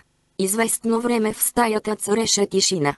После вратата на антрето бавно се отвори и едно момче влезе забързано. Гледката на двата трупа го накара да спре, но то бързо се опомни и се приближи до телата. Като внимаваше да не ги побутне, момчето извади малко огледало и го постави първо пред устните на Василий, а след това и пред тези на актьора. Стъклото остана ясно. Момчето въздъхна, излезе от стаята и се затича по лабиринта от коридори, които свързваха различните крила на двореца. Когато достигна до покоите на Василий, хлапакът оправи туниката си, влезе смело и пожела да говори с принцесата. Тя е с майка си, отвърна Нара, като си помисли, че прошението на момчето не е от голямо значение. Наредено ми е да не я безпокоя. Трябва да говоря с нея. Настоя малкият. Трябва. Е, да, ама не може, момчето ми, и толкова. Заяви твърдо Нара. Внезапно момчето, което едва ли беше на повече от 10 години, се разплака. Господарят ми е мъртъв и принцът също. Захълца той. Не знам какво да правя. Мислех си, че принцесата може да помогне, завърши той и обърса носа си с опакото на ръката. Какво? Изкрещя прислужницата. Какви ги говориш? Да, да. Ела бързо тук. Тя сграбчи хлапето за яката и го бутна към средата на стаята, където то се озова лице в лице с някакъв гигант с дълга до раменете бяла коса. Малкият се разтрепери от страх. Не се бой, момче, каза ирландецът. Кой си ти и какво искаш? Казвам се Павел и съм роб на великия актьор Велизарий. Идвам от покоите на господаря си. Той лежи на пода с принц Василий. И двамата са мъртви. Бог да ни е на помощ. Извика Нара, но един поглед на Дагда бе достатъчен, за да я накара да млъкне. Сигурен ли си, че са мъртви, момче? Продължи Дагда. Да, милорд. Сложих огледалото си пред устните и стъклото не се замъгли. Беше време за банята на господаря ми аз влязох само за да му напомня, защото той щеше да ме бие, ако водата не беше достатъчно топла. Не съм ги шпионирал. Едва сега момчето осъзна колко сериозно е всичко и се разтрепери от страх. Защо дойде тук, момче? Запита го Дагда. Нали това са покоите на принц Василий и жена му, господарю? Принц Василий лежи мъртъв до тропа на господаря ми. Къде другаде можех да отида? Жено. Студеният поглед на гиганта прониза прислужницата. Дръж си езика зад зъбите, докато не се върна. Наруким оплашено. Ирландецът нареди на хлапето да остане с прислужницата и изтича по коридора до покоите на Велизарии. Пред вратата се спря и се огледа, за да се увери, че наоколо няма никого, след което влезе. Дагда бе чул слуховете за връзката между принца и актьора, но знаеше, че тя беше прекратена след сватбата на Василий. Погледът му се спря върху двамата мъже на пода и устните му се свиха презрително. Дагда обмисляше ситуацията. Трябваше да премести телата, за да не бъде Майрин наранена от скандала. Той издърпа тропа на Велизари настрани, премести тялото на Василия върху дивана и го настани между възглавниците. Не можеше да направи нищо повече. Така поне двамата мъже не бяха вплетени в перверзната си прегръдка. Ирландецът напусна стаята с въздишка и забързано се отправи по коридорите на двореца към стаята на придворния лекар Деметрий. По време на престоя си в Константинопол, гигантът се беше сприятелил с Деметрий и двамата често играеха шах вечер. Сега Дагда се нуждаеше от своя приятел. Той влезе безпрепятствено в апартамента на лекаря и като видя, че приятелят му е сам, бързо му обясни какво се бе случило. Деметрий последва гиганта в покоите на Велизарии. Поклащайки глава, лекарят се зае да преглежда двете тела. Отрова, каза тихо той, след като помириса устните на принца и провери чашите и каните. Не е била сложена в кана, а в самите чаши. Каква отрова? Запита го Дагда. Как е била сложена и от кого? Не съм сигурен точно каква е, освен че е изключително силен и добре рафиниран прах от меладона, за който няма противоотрова. Подействала е почти мигновено, Дагда. Това мога да твърдя със сигурност, защото по телата няма почти никакви изкривявания. Никога няма да разберем кой от двамата я е сложил, както няма да разберем и дали става дума за договор за двойно самоубийство или за убийство. Принцът беше приключил връзката си с актьора, каза Дагда. Той бе верен на господарката ми от деня, в който се венчаха, и след два-три дни двамата щяха да се преместят да живеят в собствения си дом. Тогава е най-вероятно Велизари, като е научил за това и след като е бил пренебрегван от принц Василий през последните няколко месеца, да го е подмамил тук с намерението да отнеме живота и на двамата. Ще се закълнеш ли, че това е така? Попита ирландецът. Смъртта на принца ще разбие сърцето на господарката ми, защото тя го обичаше истински. Тя не знаеше за предишните му връзки и дори не можеше да си представи, че принц Василий би обичал мъж. Това не е обичайно за нашия народ. Лекарът кимна съчувствено. Няма нужда да тревожим излишно горката жена, приятелю. Ще се закълна, че Велизари е убил принц Василий, преди да отнеме собствения си живот, но няма да мога да спра слуховете, които ще последват, да, а вярвай ми, такива ще има. Предишните връзки на принца са публична тайна. До сега господарката ти имаше щастието да не чува слуховете, но вече няма да бъде така. Ще има хора, които няма да повярват, че Велизари е убил принца. Те ще кажат, че двамата мъже, които все още са били любовници, са решили да умрат заедно, вместо да бъдат разделени, когато принцът и съпругата му се преместят да живеят извън Константинопол. Трябва да отида да кажа на господарката си, каза ирландецът. Тя не знае ли още? Тя ми е като собствено дете. Майка я повери на грижите ми, преди да умре. Аз се грижих за нея и я пазех през целия й живот, Деметрий, но не мога да я предпазя от тази болка. Имам чувството, че меч е пронизал сърцето ми. Нека и аз да дойда с теб, каза лекарят. Принцесата може би ще се нуждае от успокоително след шока, но ти не се страхувай, приятелю. Тя е млада и здрава и времето ще излекува тази ужасна рана, както е излекувало много други преди нея. Кажи ми, тя бременна ли е? Не, отвърна гигантът. Сигурен съм в това. Жалко. Понякога едно бебе придава смисъл на живота на вдовиците. Двамата бързо се върнаха в покоите на Мейрин. Къде бяхте? Попита Нара. Принцесата току-що излезе от банята и попита дали той вече не е дошъл. Наистина ли са мъртви? Какво се е случило? Ако тя види момчето, ще поиска да разбере кое е то. Какво да й кажа? Нищо няма да й казваш, Нара, отвърна Дагда и се обърна към Павел. От сега нататък ти ще бъдеш слуга на придворния лекар Деметрий, момче. Няма да споменаваш на никого за това, което си видял, нито пък за връзката на бившия ти господар с принца. Ясно ли е? Да, милорд, отвърна хлапето. То се смяташе за късметлия, че се бе отървало толкова лесно. Не беше нещо необичайно робите, които бяха видели нещо неподходящо, да бъдат ослепявани, да им бъдат отрязвани езиците или да бъдат усъкътявани по друг начин или просто да бъдат убити. Малкият не можа да потисне тръпката си и двамата мъже забелязаха това. Не трябва да се страхуваш от нищо, Павел, каза Деметрий. Просто трябва да си мълчиш. Имам нужда от умно момче като теб и смятам да те науча да ми приготвяш лекарствата. Трябва да й кажем, каза Дагда и лекарът кимна. Да извикам ли Лейди Ада и Лорд Алдуин? Попита Нара. Да, отговори гигантът. Кажи им, че принцът е бил убит и че трябва бързо да дойдат при дъщеря си. Да, да. Всички се обърнаха и видяха, че Майрин е застанала на вратата между спалнята и ентрето. Нара изписка и ти чешком излезе от стаята. Какво говориш, да, да. Къде е съпругът ми? Майрин бе пребледняла. Къде е Василий? Нямаше лесен начин за излизане от положението. Той е мъртъв, отвърна тихо ирландецът. Не. Тя се хвана за рамката на вратата. Краката й се подкосиха и Майрин не беше сигурна дали вече ще може да се задържи права без чужда помощ. Лъжеш. Очите на ирландеца се насълзиха. Лъгал ли съм те някога, дете мое? Мислиш ли, че бих те наранил нарочно? Не. Гласът ти бе почти хленчещ. Кажи ми, че не е мъртъв, да да. Моля те, кажи ми, че не е мъртъв. Сърцето на гиганта се разкъсваше от мъка.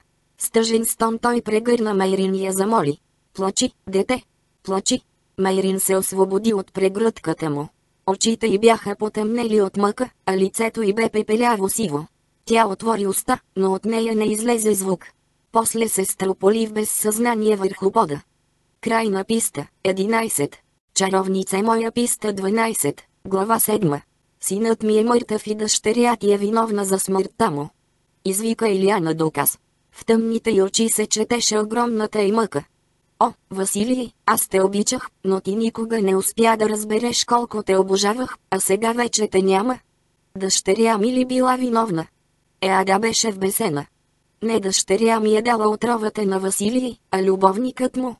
Ако дъщеря ти наистина беше направила сина ми щастлив, той нямаше да се върне при Велизари. Каква е тази жена, която натиква съпруга си в обятията на друг мъж? Какви ужасни неща е сторила тя на Василий, за да го принуди да потърси отеха при актьора? Майрин обичаше Василий и той също я обичаше, каза тихо Ада. В случая тя няма никаква вина, но доколкото разбрах, вие имате. За какво намеквате? Запита студено Иляна.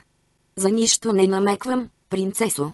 В Константинопол е публична тайна, че съпругът ви се е развличал с половин дозина млади момчета. Той съвсем открито е общувал с мъже с толкова лоша репутация, че дори и църквата не е могла да пренебрегне този факт и го е отлъчила от лоното си. Обвинявахте ли себе си за поведението на съпруга си така, както сега обвинявате Майрин за поведението на Василий? Да не мислите, че като сме чужденци, няма да можем да научим семейната ви история? Ако знаехме за това преди сватбата на дъщеря ни с сина ви, сватбата нямаше да се състои. В нашата страна страстта, която Василий и Велизарий са споделяли, се смята за незаконна, небогоугодна и срамна. Аз самата, въпреки че съм доста възрастна, не знаех, че съществуват подобни неща, преди съпругът ми да бе принуден да ми разкаже за тях. Как смеете да идвате в дома ми и да обвинявате бедното ми дете за смъртта на сина ви? През четирите дни след кончината на Василий Майрин лежа в безсъзнание.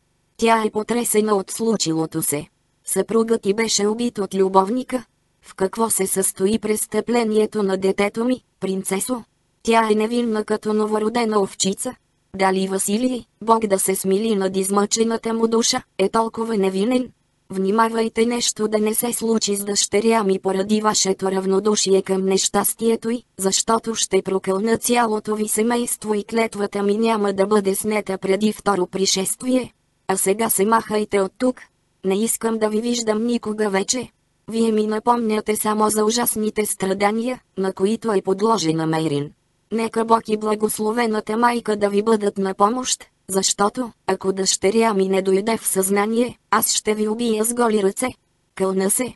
Илиана Доказ гледаше ужасено Еада. Никога преди не беше забелязвала колко едра беше саксонката, която стоеше пред нея с разпуснатата си червена коса, а очите й блестяха заплашително. Илиана не се усъмни, че Ада е способна да я убие, и списък избяга от разгневената жена. Добре, че се махна, Изръмжа Ада през зъби, докато мъжът я прегръщаше, за да я успокои. Не мисля, че ще се върне, каза Алдуин. Ти доста я изплаши, любов моя. Докато те гледах, си спомних за дните, когато жените от нашия народ бяха също толкова яростни бойци, колкото и мъжете ни. По-яростни, поправи го жена му. Той се разсмя тихо и я притисна към гърдите си. Еада се разплака. Не дай, не дай, любов моя. Започна да я успокоява саксонецът. Нося ти добри новини. Майрин се събуди преди малко, но Деметри й даде успокоително и сега тя спи естествен сън. Благодаря ти, Боже! Изхълца Ада и заплака още по-силно. А Телсбеорн остави жена си да излее мъката си. Когато най-накрая сълзите й пресекнаха, той каза. Когато Мейрин възстанови силите си достатъчно, за да може да пътува, искам да я вземеш и да се върнеш с нея в Англия. Не искам тя да остава в Константинопол. Всичко тук ще й напомня за Василий. Той я забеляза още при пристигането ни, не се отделяше от нея и после бързо се ожени за нея. Дъщеря ни нямаше време да си създаде приятели и всичките изпомени от този град са свързани само с принца. За нея Константинопол е Василий и Василий е Константинопол. Ако остане тук, тя ще залинее от мъка. Не се съмнявам, че го е обичала, но няма да позволя дъщеря ни да пропилее живота си, оплаквайки съпруга си. Той беше очарователен мъж и нямаше лоши намерения спрямо Мейрин, но въпреки това не беше достоен за нея, Еада. Принц или не, той не я заслужаваше. Не трябваше да давам съгласието си за този брак. Желанието ми да видя Мейрин добре за домена ме заслепи. Аз трябва да поема своята част от отговорността за страданията на дъщеря ни, но няма да позволя тя да страда повече. Това не е града, който познавах в младостта си. Възможно е обаче младежките ми очи да са забелязвали само красотата на Константинопол, без да обръщат внимание на разрухата, която виждам едва сега. Пролетта скоро ще настъпи, Еада. Вземи Мейрин и отпътувай за Англия с гвардейците, които си отиват в отпуск. Аз ще се погрижа да уредя пътуването. Ами ти? Попита жена му. Не можеш ли да дойдеш с нас? Като се имат предвид обстоятелствата, едва ли някой ще възрази. Ти сам каза, че почти си свършил работата си тук. Така е, любов моя, съгласи се той, но окончателното оформяне на търговския договор е най-трудното нещо при преговорите. Затова аз бях изпратен тук и не мога да се върна, преди договорът да бъде подписан. Последните съобщения на Брант ме уведомяват, че кралят все повече отслабвал, а кралицата продължавала да се опитва да качи брат си на трона. Предпочитам с Мейрин да бъдете на сигурно място в Ефлея в случай, че Едвард умре. Брант се е справил добре с задачата си, но по време на отсъствието ми той ще има нужда от твоите напътствия, ако му се наложи да решава съдбата на имота ни. Но как ще се върнеш при нас, ако кралят умре? Ще ми бъде по-лесно да стигна до Англия, ако не трябва да водя с себе си и две жени. Необходими ни бяха повече от два месеца да стигнем до Константинопол, Еада. Ако пътувам сам, ще съкратя това време на половина. Изпрати ми вест за смъртта на краля и се заклевам, че до един месец ще си бъда у дома. Не ми харесва, че ще бъда далеч от теб, съпруже, но сега трябва да мисля преди всичко за дъщеря ни. Ще отпътуваме веднага, щом Мейрин възстанови силите си. Жените можаха да тръгнат на път едва през втората седмица на април. Когато Мейрин напълно дойде в съзнание, тя не си спомняше какво се беше случило след пристигането и в Константинопол. Отново се беше превърнала в нещо средно между дете и жена. Според лекаря Деметрий, това не беше на добро, защото болката не й позволявала да си спомни за Василий и сватбата им, а избягването на истината можело да доведе до още по-дълбока травма. Майрин трябваше да бъде принудена да си спомни всичко, за да се изправи срещу страха си и да го преодолее. Императорът настоя Деметрий да се премести да живее в градинския дворец, за да може да бъде по-близо до пациентката си, която в началото не можеше да разбере, защо и трябва лекар. Когато най-накрая Мейрин осъзна, че от пристигането и в Константинопол са изминали 18 месеца, за които не си спомня нищо, тя с готовност започна да изпълнява съветите на Деметрий. Спомените бавно започнаха да се връщат и заедно с тях дойде и болката. Придружена от Еада и Деметрий, Мейрин започна да обикаля всички места, които бе посетила за първи път с Василий. През един следобед тримата влязоха в църквата Света Ирена. Майрин огледа обляната от златиста светлина вътрешност на сградата и неочаквано се разплака. Еада прегърна дъщеря си, за да я успокои. След няколко дни, на вечеря, Майрин внезапно погледна Деметри и каза спокойно. Съпругът ми е мъртъв, нали? Въпросът ти бе толкова неочакван, че всички около масата застинаха на местата си. Лекарът пръв се съвзе от изненадата и отговори. Да, ваше височество. Принц Василий е мъртъв от два месеца. Как е умрял? Запита тя. Гласът ти бе напълно спокоен. Бил е убит. Отровил го е най-добрият му приятел, актьорът Велизари, който след това отнел и собствения си живот. Защо? Гласът ти прозвуча остро. В стаята настъпи гробна тишина. После Ада каза. Какво значение има това сега, скъпа? Горкият Василий е мъртъв и погребан. Ти си вдовица. Благодаря на Бога, че най-после си спомни всичко. Време е да го забравиш и да започнеш живота си отново. Защо Велизари е убил съпруга ми? Повтори въпроса си Мейрин с неочаквана твърдост. Искам да знам. Искам да знам, защо е мъртъв съпругът ми. Алдуин погледна дъщеря си и видя, че тя вече не е детето, което толкова много бе обичал и което бе защитавал през целия си живот. Очите на жена гледаха седящите край масата и изискваха от тях отговор на всички въпроси. Кажи истината. Каза той. Не. Прошепна Ада и очите й се изпълниха с сълзи. Не й причинявай повече болка. Да не искаш да го оплаква вечно. Запита саксонецът гневно. Аз не искам това. Искам тя да бъде свободна и да започне нов живот, като забрави за миналото. Това обаче няма да стане, ако не й кажеш истината. Да, кажете ми истината, каза твърдо Мейрин. Преди да се омъжите, започна Деметрий, съпругът ви и Велизари бяха любовници. Има мъже, които са привличани само от жените. Но има и мъже, които биват привличани само от други мъже. Има и мъже, които, също като съпруга ви, изпитват влечение към жените, но от време на време се нуждаят и от любовник мъж. Когато принц Василий се ожени за вас, той се влюби във вас и напусна Велизарии. Доколкото ни е известно, през няколкото месеца на брака ви принцът не е посетил бившия си любовник нито веднъж. Можем само да предполагаме защо двамата са били заедно в деня на смъртта си. Според нас съпругът ви е искал да каже на Велизари, че между тях всичко е свършено. Актьорът сигурно се е почувствал предаден, а може би дори е бил разгневен, но вероятно Велизари е прикрил истинските си чувства и без знанието на принца е сложил отрова в две чаши с вино, след което е подмамил съпруга ви да пие с него за последен път. И двамата са умрели почти веднага и не са изпитали силни болки.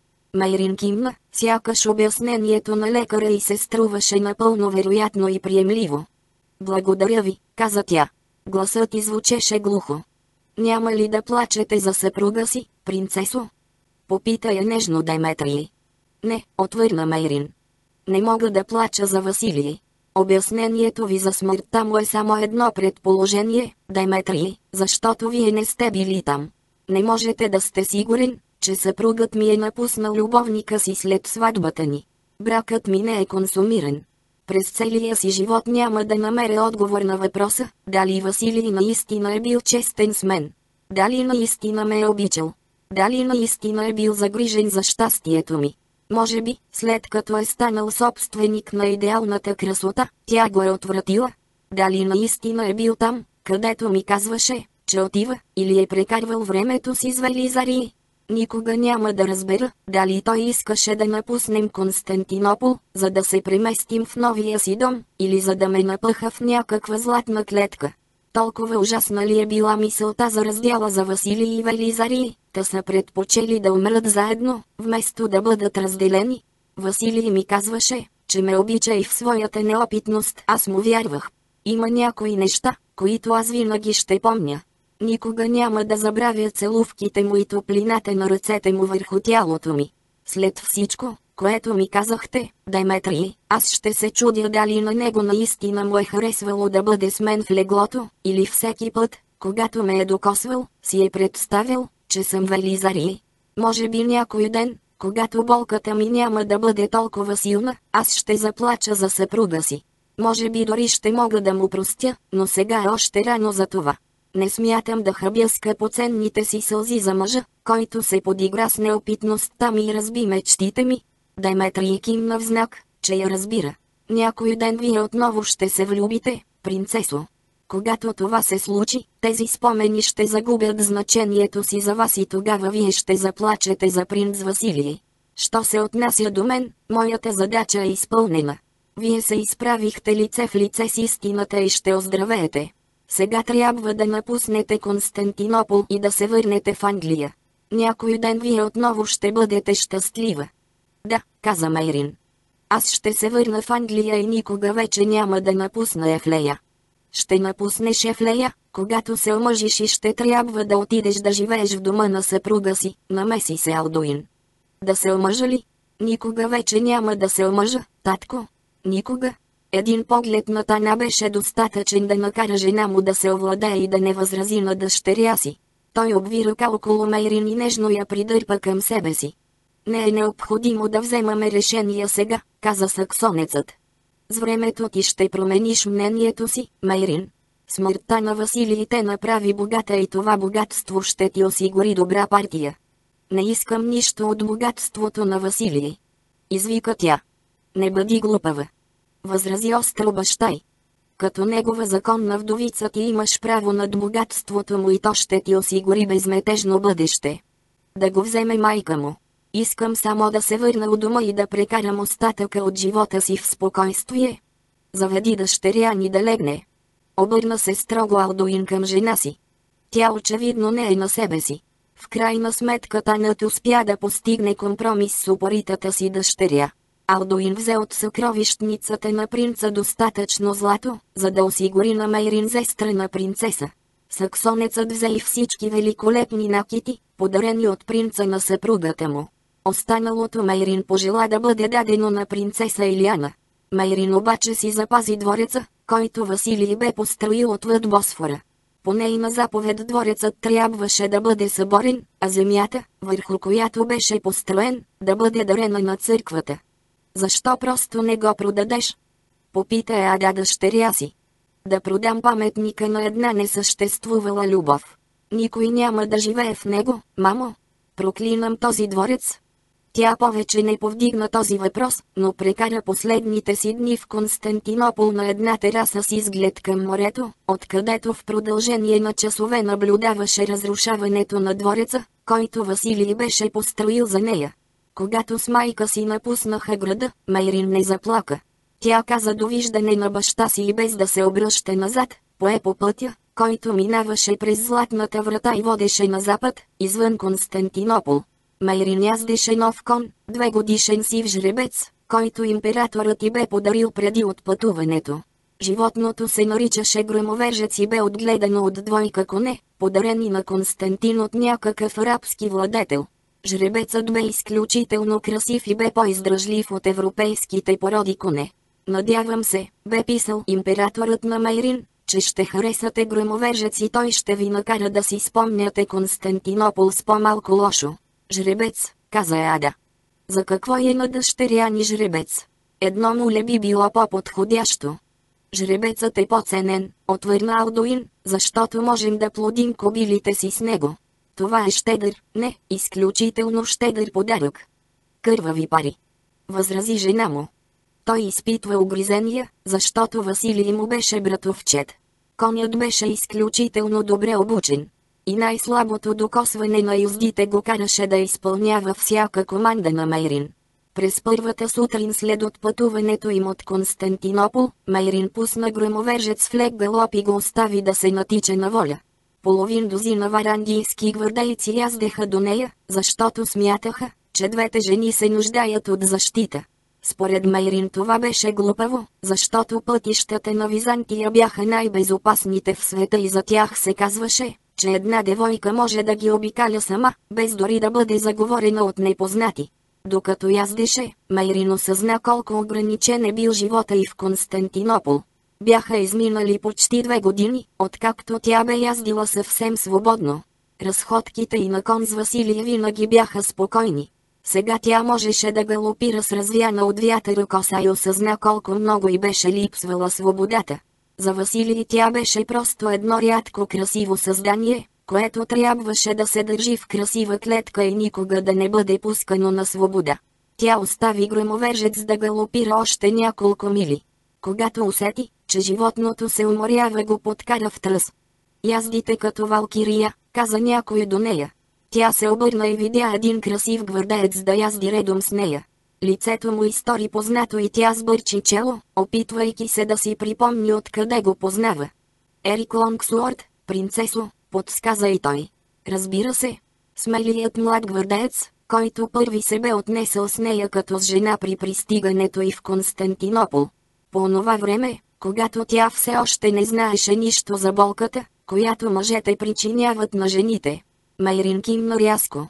Някога бе смятала, че този човек е твърде дързък, но сега разбираше, че той просто се опитва да се възползва от нея, както би направил с всяко друго красиво момиче на нейно място. Съжалявам за загубата ви, каза Ерик. Аз пък не съжалявам, Ерик Лонгсуорд, отвърна тя. Радвам се, че се връщам в Англия. Имах предвид смъртта на съпруга ви, уточни той. Майрин се обърна, за да го погледне в очите, и младежът отново си помисли, че тя е най-красивата жена, която Господ някога е създавал. Тя беше идеална. Знам какво имахте предвид, отвърна Майрин. Разбира се, тя не би искала да си спомня за сполетялото я нещастие. Той се наруга мислено за нетактичността си. Къде е домът ви? Попита я в отчаян опит да смени темата и да си възвърне благоразположението й. Живея в Мерсия, в имението Ефлея, което се намира в една малка долина край границата с Уелс. Уелсците са жестоки бойци, но вие сигурно знаете това, след като живеете в съседство с тях. Долината, в която е разположена Ефлея, е скрита. Откакто живея там, уелсците не са нападали имението. Аз съм от Дейнлоу, каза гвардеецът. Личи си по името. Земите на баща ми се намират близо до Йорк. Връщам се у дома, защото най-големият ми брат Рандолф е умрял и сега аз съм единственият наследник на баща си, защото брат ми нямаше деца. От малък знаех, че ще прекарам целия си живот като войник, а сега трябва да се уча да бъда земевладелец. Разбира се, скоро ще трябва да се оженя, завърши той смело. Открих, че животът не винаги е такъв, какъвто искаме да бъде, Ерик Лонгсуорд. Научих се да приемам този факт и подозирам, че и на вас ще ви се наложи да направите същото. Тя смушка коня си леко и се отдалечи в лек галоп от младежа. Тя го беше отхвърлила и викингът знаеше това. Както Мейрин бе казала, той трябваше да приеме този факт. Ерик щеше да се примири, докато не излезеха извън границите на Византийската империя, в която Мейрин все още беше принцеса, а той – просто войник от Варандийската гвардия. В Англия нещата щяха да бъдат различни. Там той щеше да бъде наследник на богат тан, а тя – дъщеря на друг богат тан. Това ги правеше равни по положение. Когато траурът ти свършеше, баща и сигурно щеше да поиска да я омъжи повторно. Жените имаха само две възможности – да се омъжат или да влязат в манастир. Майрин обаче не му приличаше на жена, която би избрала монашеския живот. Младежът беше готов да се обзаложи, че в студените зимни нощи тя щеше да стопля мъжа си по-добре от огньовете на ада. Ерик я желаеше от мига, в който я бе видял за първи път. Той се ухили на себе си. Викингът нямаше да позволи на нищо да се изпречи на пътя му, защото независимо от думите на Мейрин за живота, той не смяташе да се откаже от нея. Групата прекоси Европа. Този път Ада не се разболя и не се измори толкова много, колкото на отиване. Пътуваха бързо, защото искаха да стигнат до Англия колкото се може по-скоро. Повечето от гвардейците в групата не бяха виждали домовете си от години. Сега те отиваха да се срещнат с семействата си, преди отново да се върнат на служба при императора. Някои от тях осъзнаваха опасността, която бе надвиснала над Англия, и щяха да останат в родината си, за да подкрепят семействата си в предстоящата борба за власт. С всеки изминал ден слънцето се задържаше все по-дълго на небето. Групата достигна Италия и бързо я прекоси, като следваше пътищата край невероятно красивото средиземноморско крайбрежие. Най-накрая пристигнаха в Лангедок и поеха по пътищата, които вървяха успоредно на теченията на големите реки в различните френски кралства. Един ден те осъмнаха в херцогство Фландрия и през същия юнски следобед пред тях се ширна блестящата синьо-зелена повърхност на Ламанш. Саксонските войни нададоха мощен радостен вик. Времето е толкова хубаво, че от тук може да се види родната ни земя. Извика щастливо е Ада. Ако успеем да намерим кораб до до вечера, ще бъдем в Англия утре сутрин. Майрин се разсмя за пръв път след толкова месеци. О, мамо!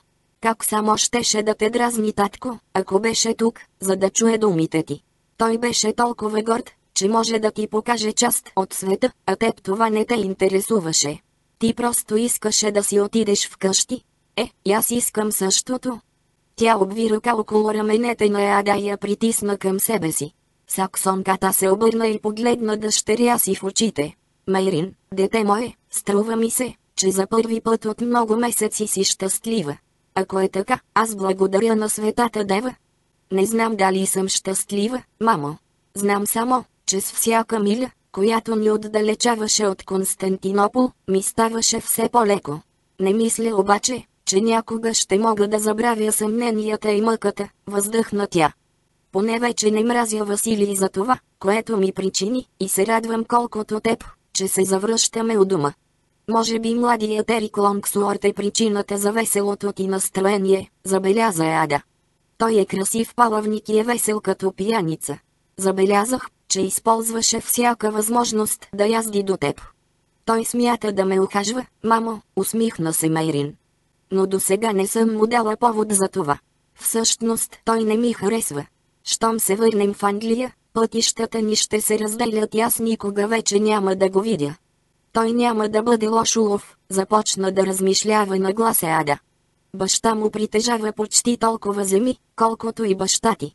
Разбира се, ще трябва да му родиш набързо няколко сина, за да си осигуриш положението. Мъжете от областта Дайнлоу са известни с това, че имат по няколко жени, въпреки че твърдят, че са християни. В Дайнлоу да родиш синове не е гаранция, че ще задържиш съпруга си, отвърна Мейрин. Не отстрани ли Харалд Годуинсон жена си Едит Суонснек? Не е ли тя майка на единствените трима сина, които той има? Да, съгласи се Ада, той наистина отстрани горката Едит Суонснек, за да се ожени за сестрата на Ирлана Мерсия. И чието съпруг беше убит по нареждане на Харалд Годуинсон.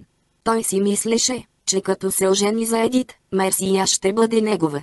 Благодаря, но не, майко. Можеш да направиш и по-лош избор от Ерик Лонгсуорт, спокойно възрази Ада. Нямам никакво намерение да се омъжвам втори път, мамо. Да не искаш да влезеш в манастир. Еада знаеше отговора предварително. Разбира се, че не. Тогава ще трябва да се омъжиш повторно, Майрин. Нямаш друг избор. Може да не е Ерик Лонгсуорт, но в крайна сметка ти ще трябва отново да си намериш съпруг. Защо да не мога просто да остана у дома с теб и татко? Алдоин и аз няма да живеем вечно и ти го знаеш. Съпругата на Брант няма да бъде настроена добре към теб, ако живееш в къщата, която един ден ще стане нейна. Какво ще се случи с теб, ако не се омъжиш отново? А не мога ли да си купя някоя малка къща и да живея сама? Какви глупости говориш, Майрин? Кой ще оре земите ти и ще ходи на лов заради теб? Кой ще те защищава във времена на опасност? Не ми казвай, че Дагда ще прави това, защото и той няма да живее вечно. Случилото се в Константинопол те нарани дълбоко, но ти не трябва да оставяш краткото ти познанство с Василия доказ да разруши целият ти живот. Той те обичаше, Майрин. Аз съм ти майка и знам това. Той не би искал ти да живееш в страх до края на дните си. Не е необходимо да се омъжваш веднага. Може би няма да бъде зле, ако изчакаш, докато не бъде решен въпросът с наследяването на трона. С баща ти сме говорили за това и сме сигурни, че ще има война. Войната е неизбежна. Ти си богата жена и някой ден много мъже ще претендират за ръката ти, Майрин. Те ще искат златото ми, а не мен. Отвърна дъщеря и се изсмя. Така е, но аз знам, че ти ще намериш подходящия мъж, когато да обичаш. Мъж, който, освен богатството ти, ще обича и теб. Може би, но Ерик Лонгсуорт не е този човек. Когато го срещнах за пръв път, той ми разкри неща, чието съществуване дори и не подозирах. Той бе първият мъж, който ме погледна, както се гледа жена. През последните няколко седмици аз го опознах доста добре и открих, че у него има нещо, което ме прави неспокойна и ме притеснява. Той се противопоставя на естествения ход на нещата по начин, който за мен е неприемлив.